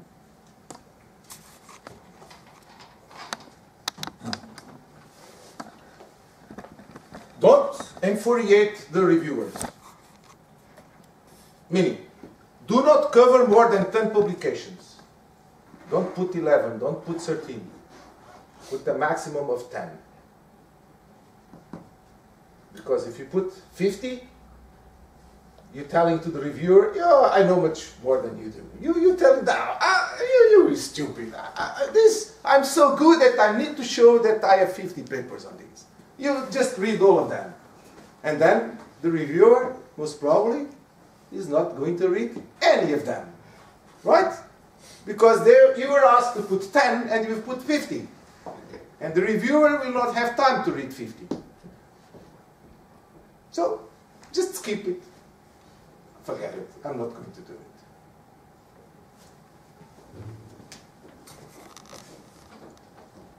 Okay, if applicable, I don't have any comments here. Now, objectives and work program. Please give a concise description of your project's research program. So, research program, basically again, general objective. What do I want to solve? The assumptions. I think this keeps being valid in mathematics. You always need some assumptions. Scenarios, I'm not sure if this valid in many mathematics, but in some is. What is the scenario I want to solve? It's the, the road, or it's inside the building, or whatever. Doesn't matter now. Perspective for model development. So, I'm going to develop my model using finite elements. Not method of moments. It's finite elements. It's different. Because method of moments has this and this and this, but finite elements and this and that and that. And this is much better than the other one. So finite elements is the best approach for solving this problem, not method of moments. Parameters for input and output. Again, maybe some things don't apply here. My apologies for that again. But what are the input parameters I have in my model? Am I going to consider 100 input parameters? I will not. For sure it will not work. I need to pick the most important ones. VT was not important, right? So I'm not going to use it. But the height of the antenna is important. I'm going to use the height of the antenna. What are the output metrics I want to analyze? The blocking probability. All the blocking probabilities of all users or just the user on the street? Not the one inside the, the buildings? Whatever, I don't know. And the scientific objectives. Again, clear, tangible, and measurable. Measurable in the sense people knowing, give something to people that in the end they see you have achieved your objective. They are not necessarily numbers, but they have to be things that in the end they see, okay, he has achieved, he or she, sorry, girls, ladies, he or she has achieved these, he has reached the objective.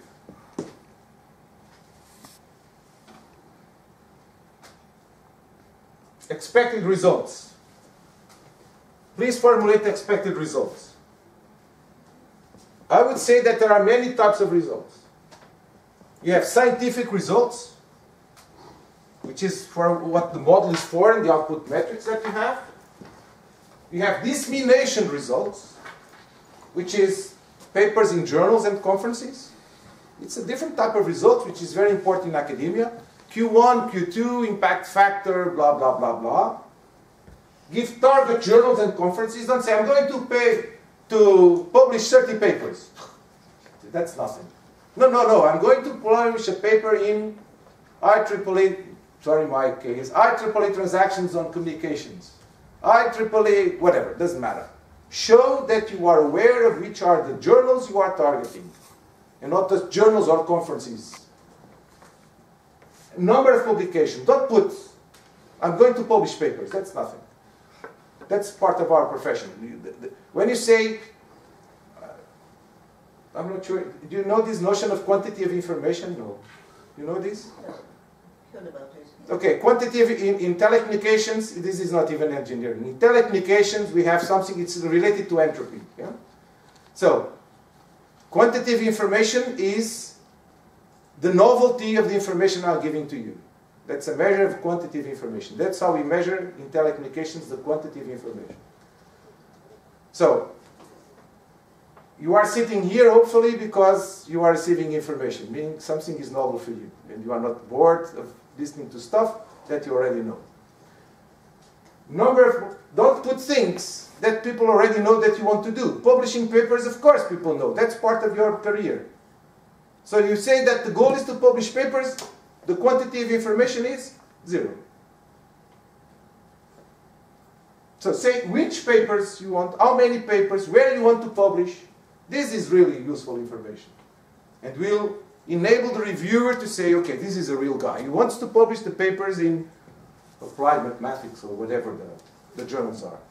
These are two you one know journals. our main problem? Excuse me? Our main problem is, from the, that from the point of view of five top 100 projects, the main objective is a number of publications. And Q1 and Q2. It's, But then, but Yes, then Q1 how- and Q2, you don't want Q3 or Q4. uh, No, no, no. But that's that's important because you need to know. It doesn't matter where. It, uh, content doesn't matter. But but it Right. matters if it's Q1 or Q4, right? Yes, yes. So you need to show that you want to publish papers in Q1 journals, not Q4 journals. At least the Q1 they, journals. they give me the restriction, not less than 30 papers per one project. Okay. It's, it's a crazy uh, requirement, or it isn't crazy. It's not. But state which journals they are. Then you have networking results. No, I know, I know, I know. Networking results, very important. Different type of results, which is natural, national and international conferences, COST actions, because this enables a lot of networking, interaction with other researchers, exchanging of information, joint papers, with international colleagues. These are all metrics of success, let's put it this way. And these are valuable for a reviewer to see that we are really doing stuff and giving the numbers that our teams want for the rankings and all these kind of things. Education results. We are professors. Professors are supposed to teach, right? And to pass information to students. So at least back home, we need to show education results. And this means graduation of students. With this project, I intend to have this number of Master of Science students involved, of course at a very low level, obviously, PhD guys, postdocs eventually, also these kind of things. So that there's also putting people on the wheel, you know?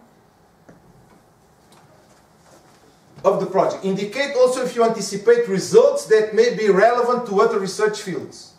Being from applied mathematics, I would say, at least again, this is my perspective, engineering areas are of value.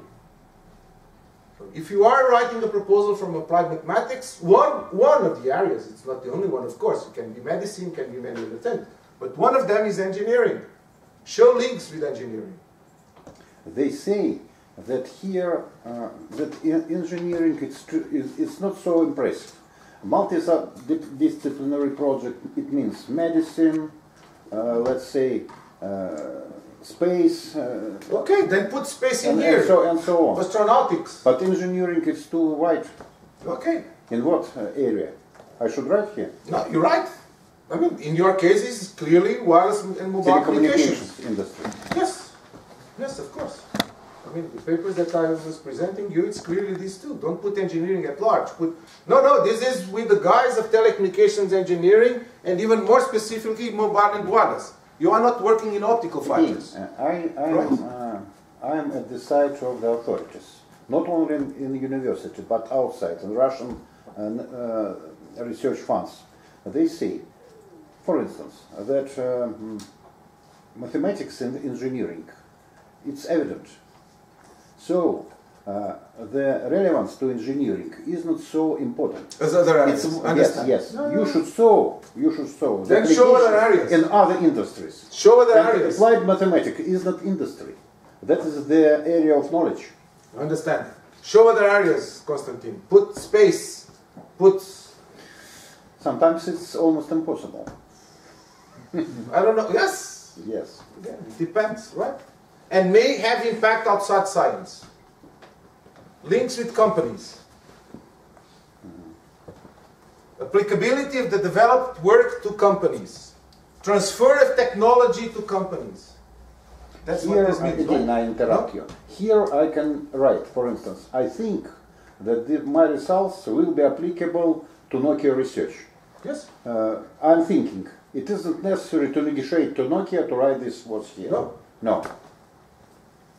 The inclusion of companies in the proposal may be a value. Again, you decide Maybe. on this. I don't know. I think I so. I think so, yes. Propose the organization of a final workshop to show results to companies. That's a good way to do transfer of technology. In the end, you organize a workshop with them, like you remember the, the one we invited me Yes, years I ago. remember, yes. With there were, I remember there were people here from the city of Moscow. Yes. That's a good idea. The, now the guys in the city of Moscow So know. here I can write that that is will be one of results of my project. I will organize uh, workshop on such uh, with such title for such kind of industry and company. Yes. And that is will be my result. Yes.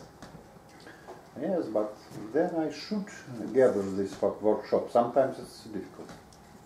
Yes, but of course the result will be very uh, competitive.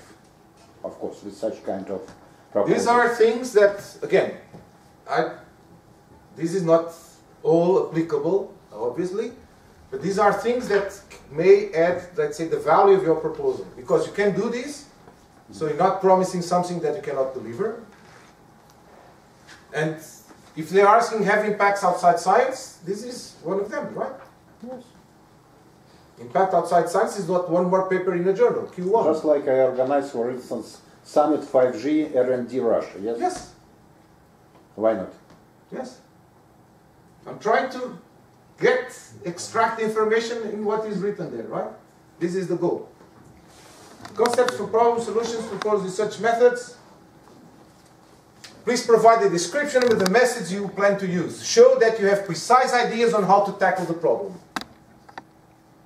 Identify, the- so you know it's going to be finite differences, not method and moments.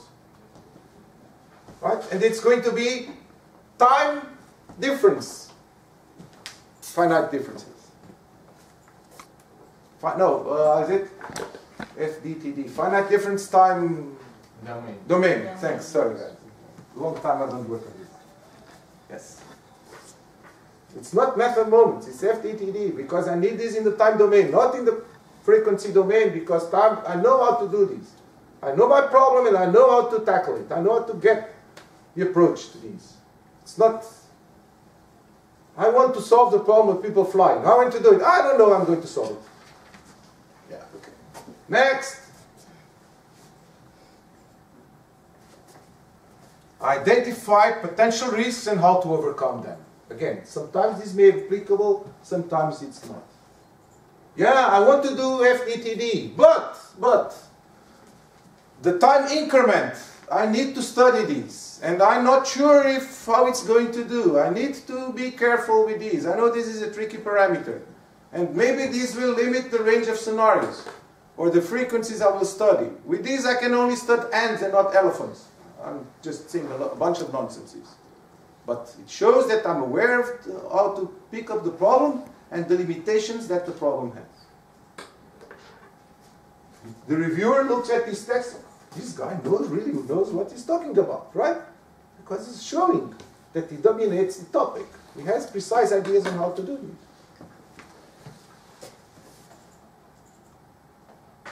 Work package and milestones. Now, I think this is something you are not very familiar with, I can imagine. But We, we do hope. okay, so this uh, then of course it's what methods are already available, what methods need to be developed. Again, a checklist. Remember the checklist, guys? Checklist. Checklist.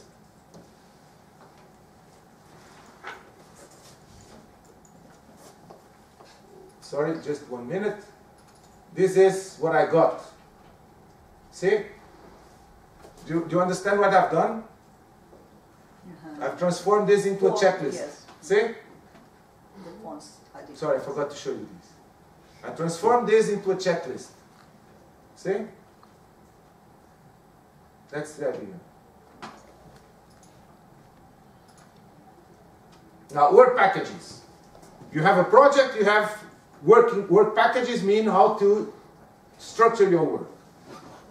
Now it's very much engineering stuff, but that's what you are being. Don't blame on me, blame on the guys that have done this. So if you have work packages means you need to define work, how to structure the work. Whether you like it or not, they are asking for it. It's not my fault now. So formulate the detailed program steps. This means you should structure something like this.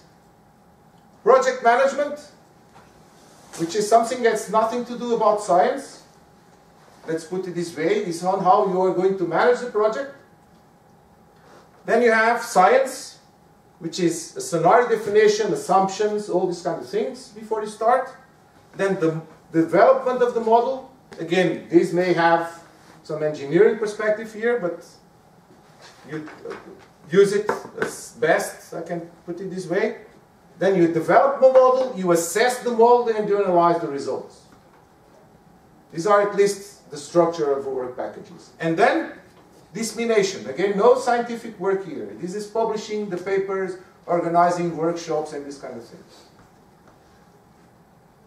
So, two to five is scientific work. One is project management. It's not scientific, if you will. And this is being a journalist in Commons. Right? It's telling others what we have done. Q1, number of papers, that's what they need. Now, once you define these or something similar, again, you need to indicate the leader of each work package. So who is the people, who is the person responsible for each of these working packages, of these teams? The project leader should be the guy in charge of project management. Don't put another name. Because if you put another name, the message you are saying is the project leader is just to give his name. It's not working. So he's not the, the project lead is the guy just showing off. He's not doing the work. So I'm not going to rely that this is going to be achievable. Identify who is doing what. You have five people in your team. Say, uh, this guy is doing this, this guy is doing that, and I'm going to hire three PhD students. Yes, you still don't know the names. It doesn't matter. PhD student one is going to work on this. PhD student number two is going to work on this, and so on and so forth. Present a PERT diagram. Probably you don't know what this is, but it's very simple. Do you understand? This is project management, which is interacting with the four scientific tasks. Project management is interacting with all the other tasks. Yes, Constantine. Question. What will be if, within some reasons, I will violate this project plan? How will I will present the results? Because the results should follow this working plan or not? What you mean violate? Um, нарушить. During the project, uh, Yes. the project leader decides to change a li- little bit. Okay, the but project that happens. This is with research. packages. No, no, no. Sometimes the authorities of uh, research funds uh, require that this plan cannot be uh, Changed. changed. No, no, but the plan, this is a Or plan. I, I everywhere should explain why I'm changing it. Yes, if you need to change, you need to explain. It may happen. This is research. It- This is not. In, in, An Europe, exam- in, in Europe, yes. In community, yes, but not in Russian for funds and, and level of Russian authorities. Okay. Yes, it's. You need to find. You need to find your way. So it's very understandable for me, and sometimes it's very dangerous for me. So I should be very clever. while putting at every VP concrete persons. Yes, it's uh, some specific features. But, But sorry, I understand things- because in, in Europe you uh, have uh, Uh, how to say you are looking for a process but not for a result, Yes. and that is the difference. Yes, so that is the process. But let me give you an example. Yes. Following the conversation we had this morning. yes, You have people that are experts, let's put it this way, in simulation. And you have people that, you have people meaning colleagues, right? That are experts in simulation. Colleagues that are expert in the mathematical modeling. So why don't you say that the person in, the person is, which is an expert in mathematical modeling will mostly work in here, or be responsible for this one. The person that is an expert in simulation will be responsible for this one. For example, right? It, doesn't it make sense? That I mean, you're trying to fit the competencies of the people to the groups. That, but again, you know best on how to do this. I don't want to teach you. I'm sharing information. Remember, guys? I don't know the Russian reality to the point of telling you how it can or it should be done. Sorry. My apologies. I don't have that knowledge. no, no, no. But I'm don't sharing be, don't, information don't, be, with don't be you sorry because uh, this plan is very attractive and we know this plan. But sometimes I should hide this plan inside the proposal because this plan is dangerous for me at the second year or, or at the third year because they will ask me why you uh, changed uh, this plan. okay. Yes, and uh, here I should write some general things. Yes, Okay, some specific then- features. Yes, but uh, and of course this is very this is uh, this way is very reasonable. This is again At least I should have it in my my mind. mind. Yes. Yes, Okay. on in my internal documents. So this is what it's called the PERT diagram, which means that see this, there's a flow in between the scientific tasks, but then the one which is project management and the one that is Dissemination. dissemination, they are on the top and on the bottom, right? And then you can even have, so they, they, they are asking for milestones. Milestones. Milestones means I have, by the end of month three, I have my preliminary result scenario that's been defined. This is a milestone. By the end of three months, the project starts, the scenario, the preliminary scenario has been defined. And by the end of month six, at, after six months, the scenario has been defined. This is a milestone. And you can define many others, like these. The, the assumptions are defined at the end of month nine, for example. I don't know, I mean, all these kind of things. This is what they're asking for. They ask for milestones. This kind of thing. Then present the contributions to be made by the project members. And in case by outside partners and leak the statements and so on. I would put here that you define intermediate reports to be delivered at certain key dates. And who will be contributing to these reports. I mean, again, you don't need to put the whole list of people, but say, this is, I will hire three PhD students and they will be contributing to the scenario definition. And the person in charge of simulation will be the, the person in charge of this internal, it's an internal report. But it's a way to share information about the team, in between the team. So you can say you have an intermediate report with the scenarios definition, which is edited by the person in charge and contribution by PhD students. I'm not saying you need to put all of this information, but this somehow what's being asked in here. Contribution to be made by the project members is these kind of things. Whether you want to present it like this or not, that's another matter.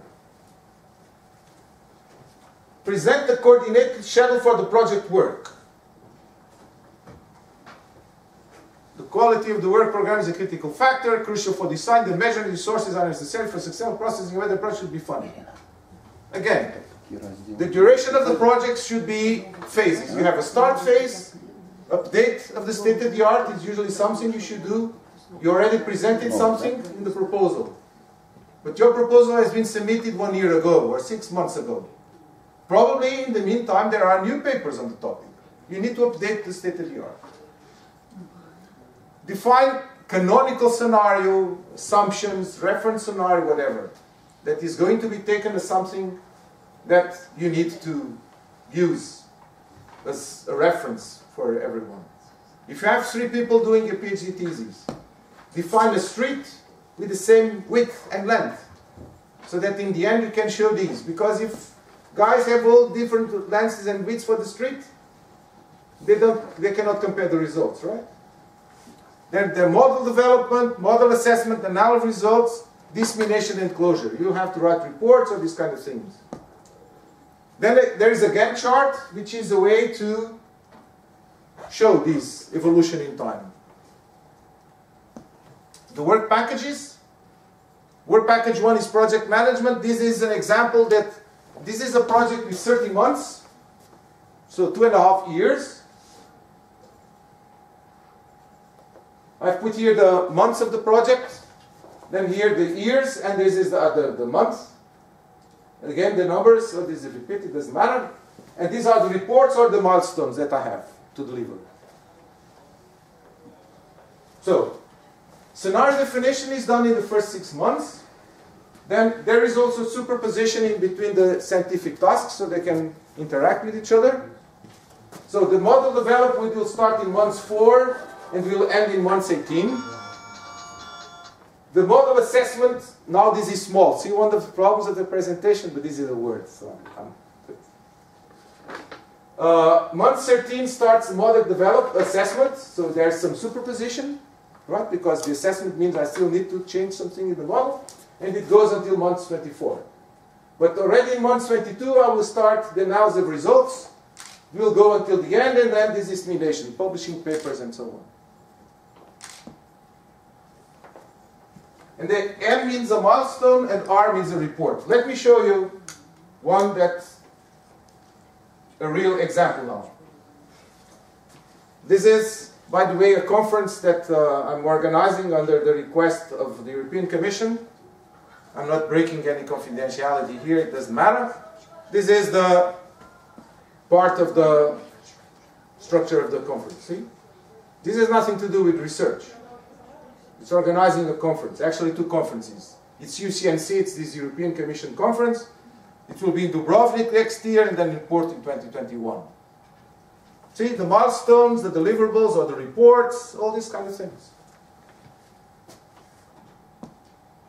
Now, a good way to show that you are working in an integrated way is to include meetings.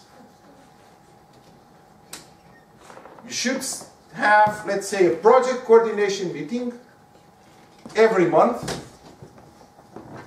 with the work package leaders and the project leader. Maybe you just have four people getting together for one hour probably. This is working okay, we have a problem with the student, uh, the scenario cannot be like this because the, the street is too wide. I don't know, whatever needs to be discussed. Working, work package coordination.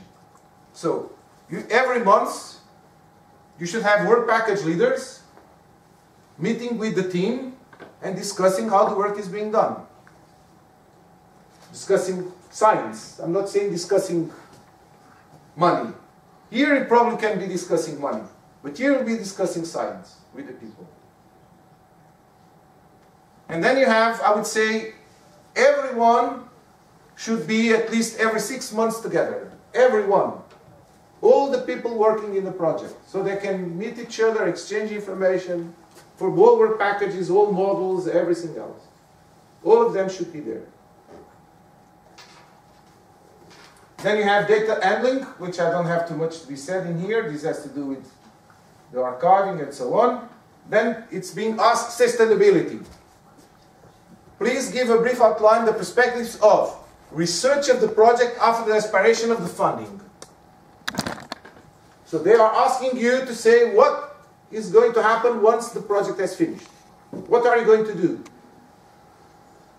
So you should basically address the continuation or the growth of the research area. You are gaining more and more competencies in Hilbert spaces or whatever you do working. What? Graduation of PhD students. You want to graduate more people. You want at least with us, it works like this. I can imagine it works like this as well here. Gain of competencies for junior professors, right? You want people to go up. Junior professors, senior full professor, you know, all these kind of things. This should be mentioned in here as well. Chances of a long-term partnership between the collaborating partners. So, strength of link with partners, increased links with international researchers. All these kind of things are results that should be there after the sustainability. Research after the expiration of the funding. The project is finished. What have you gained by doing research in this area? National and international cooperation. If cooperation with national and international partners integrated into the program, the expected added value of the planned cooperation should be described. What you gain with these? Exchange of information. Very valuable in research. Researchers have invented globalization before the guys in economics and politics have invented it before, right? Because globalization is to share information with the world. That's what they have been doing since science exists, basically. So exchange of information, joint publications with people. Internalization of the research group. That's how you get into the Q1s. Access to international scientific bodies. Let's not be naive. You can only have access to being an editor of a journal and these kind of things if you know people. If people don't know you, they are not going to invite you. That's for sure. And the only way they are going to know you is that you have go to conferences, you meet people, you go to COST meetings, people are there, you talk to them, you start having joint papers, people start seeing in the journals, oh, this has published with this and that and that, okay, then let's invite him or her to, to be an editor or whatever. If people don't know you, that will not happen. At least the probability that will happen is not very high. Talking about probabilities now, right? Okay, humans, I don't think this applies in here. Uh, okay, I think I've finished. Bibliography, it's uh, requested funding. Yes, this is more or less done.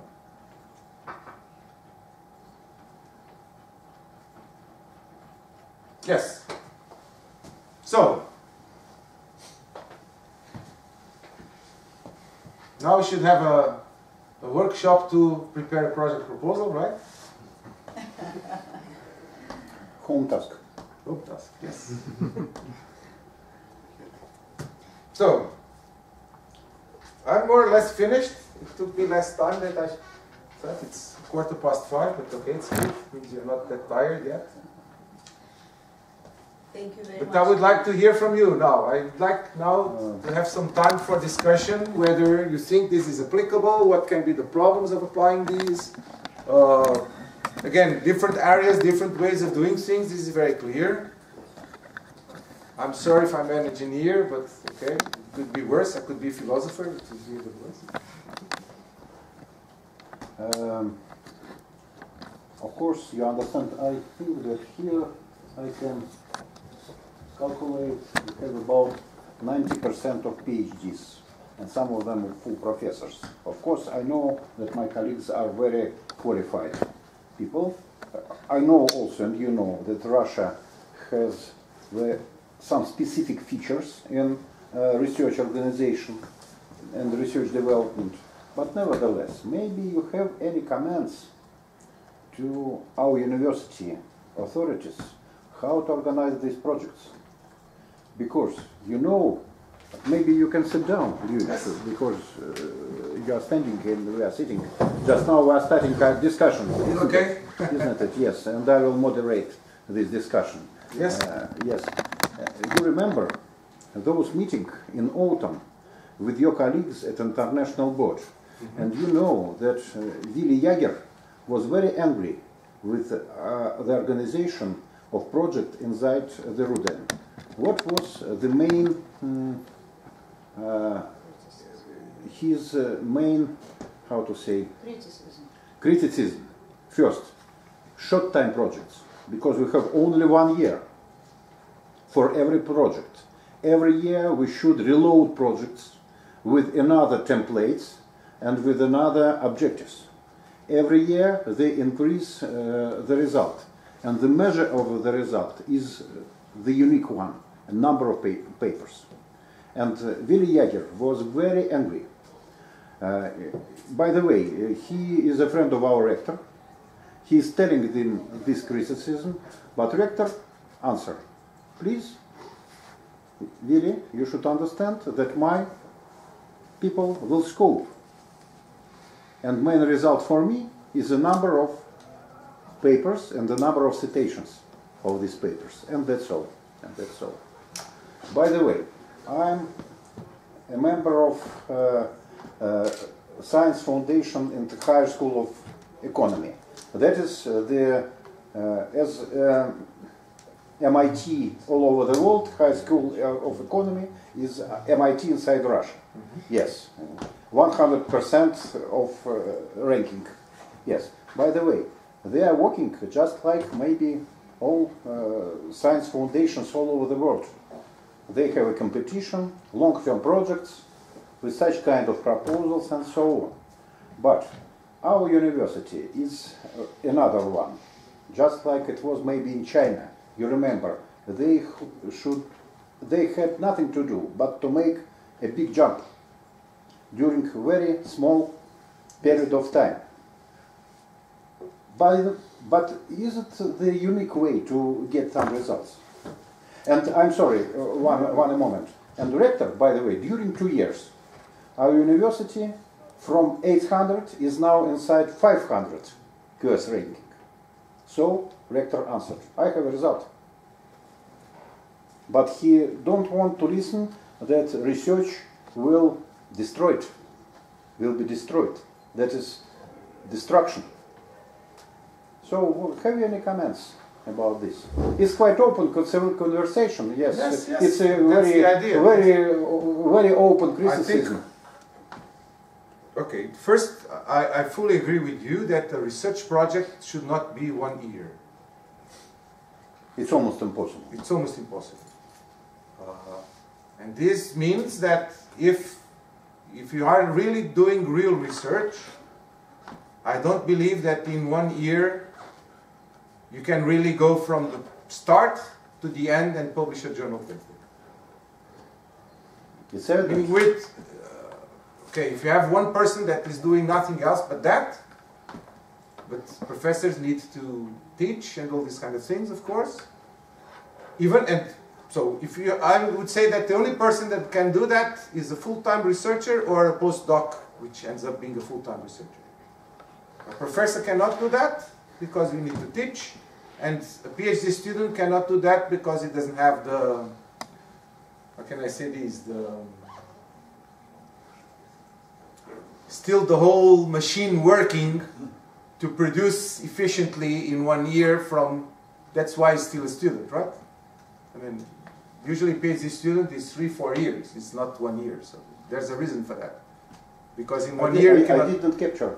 I'm sorry, I didn't capture. Uh, So, as far as I understand, uh, postdocs is postdocs Postdocs is one of the mechanisms of solving this task.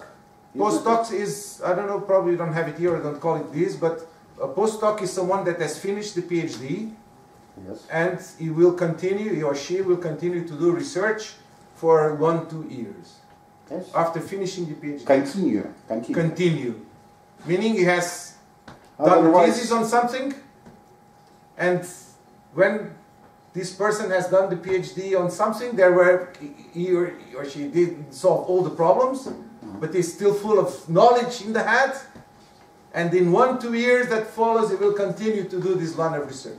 Otherwise, the scientist is a researcher, which is hi- hired for me by me to solve concrete task inside the project. Yes. Not postdoc. Not to. Not postdoc. Yes. Yes. Okay. If you hire someone that is a researcher and telling this person, okay, I have this problem, I want a model for the movement of people in streets with benches in the middle. You have one year to do these.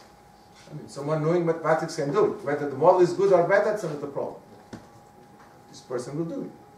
But I think that usually when you have a research problem and a research project, this should be three years or something like that. Less than three years, it doesn't seem to be that good, serious, let's put it this way. And that does not mean that you are not going to publish. Of course, The life is continuing. life In is spite continuing. of this project, yes. Yes, people will Yes. publish, of course. Now, the matter is, where are you going to publish? And in the long term, how is it going to happen? Because, again, if you want to get more visibility and all these kind of things, you need to interact with people outside, then we go back to many of the things I mentioned. And by the way, the Chinese colleagues in China, do you know what they have done the government in China, do you know what they have done with the universities to achieve what they have done now? Very simple. They So- brought a lot of Chinese professors from the United States and Europe. They paid them a lot of money to go back to China, to the universities, to the top universities, and they said, okay, you have 10 million euros. You have 10 years to build a or five years to build a research group. But they came from outside China. I know many colleagues that have done this. And they were very well paid. And on the top of these, the Chinese government was using a lot of money to bring people from Europe and uh, North America and many of the countries to go there. And they are still doing this. And to stay there, I know a colleague, he, he retired from Paris and he was offered a position in Nanjing University. And he's there now. I mean, he's not full time because he has a family back in Paris. But he goes there every, he's there for typically three weeks. And then he goes back two weeks, and then he goes to Nanjing three weeks, and then back home two weeks, more or less on average. And he's supervising a lot of students, interacting with junior professors, having meetings with them, and all these kind of things. That's on how. That's what the Chinese government is doing. That's how we can achieve something. So the I'm not- experience is very attractive, or not, The experience is what do you mean? of China No, I, I, in uh, research. excuse me. One of the ways. It's one of the way. Uh, uh, this is a way that you can, in a short time, achieve a lot of results. What? Because you have people with experience, so you don't have the learning curve. Again, you don't have a PhD student. A PhD student, the first six months is reading just to understand what the problem is. Can't do anything else. Still doesn't know what the problem is. He cannot solve the problem. Still have not understood the problem, right? You remember my question, we are discussing the criticism regarding the organization of this project Yes. and research, yes. So, uh, as far as I understand, you prefer to manage uh, research process, process more to manage the results and intermediate results. It's better, or not? Is it clear? Uh, My question uh, is clear or Well, not? th- th- I mean, these things here, you, you can publish a lot of papers with these as well, of course. Of course Yes, you can. I, I can have only one working, working project to publish papers and to manage it, and that's Because all. when, don't, don't Yes, it, misunderstand. it will be very fru- fruitful. But you are free, Konstantin. You are free. Yes, I'm free. Yes, of course. But let, let me let me explain one thing. When where is this this this one here? Right, the thing that you just publish in the end. Of course, if you want to publish a journal paper, Yes. You can only publish journal paper when you have results. You cannot do it in here because the model is being developed. Right? What you can do is to publish a conference paper somewhere here with the initial results. Okay. This is, again, this is not the truth. This is not the only way of doing. I can. This was just a, an example. But now this depends. But of course, you have. Ju- it depends how many people you have in your team, right? Yes. Because you can, if you have like so many colleagues sitting here in, in this room, then you can imagine a lot of these projects and they are shifted in time, right? They are shifted in time, sorry. So that's why we keep publishing on a yearly basis in the, and then, of course, because we are not all starting from here. A student is starting from here, but we are, as a team, as a group, you are not starting from here. Students are starting from these, but as a team you have many people that are shifted in time, right? So you have someone that is starting this one, but another person is already here, and another person is already here. So in the end, you have papers coming on a yearly basis. And again, it's you, you can publish a lot of bad papers, but then this the, the probability that these papers will reach the Q1 journals is not very high. Yes, yes. But, but usually, number of quarter shows the quali- quality Yes, of course. Yes, of course. Of course. Yes, of course. And impact factor. course. Yes. So thank you very much, Yush, because of course I understand that your uh, lecture is not a medicine for us, is not a headache pill, of course, but it's very useful. And I still have questions because actually what uh, Russia is doing, and uh, Russian 20 universities, you remember, the 21 university, uh, universities of Russia are involved into this uh, great project. It will be fulfilled next year. This year is the last year of financing from the government level. I mean, uh, five top hundred, uh, yes. Nobody knows what will be then after that. It's very bad for us because we should understand sustainability, you told us. If by government do not show me the way after this project, I am not sustainable. What I will tell to these people? And to 10 postdocs, so-called postdocs, which I hired during this project. Yes. I should think what will be in three years.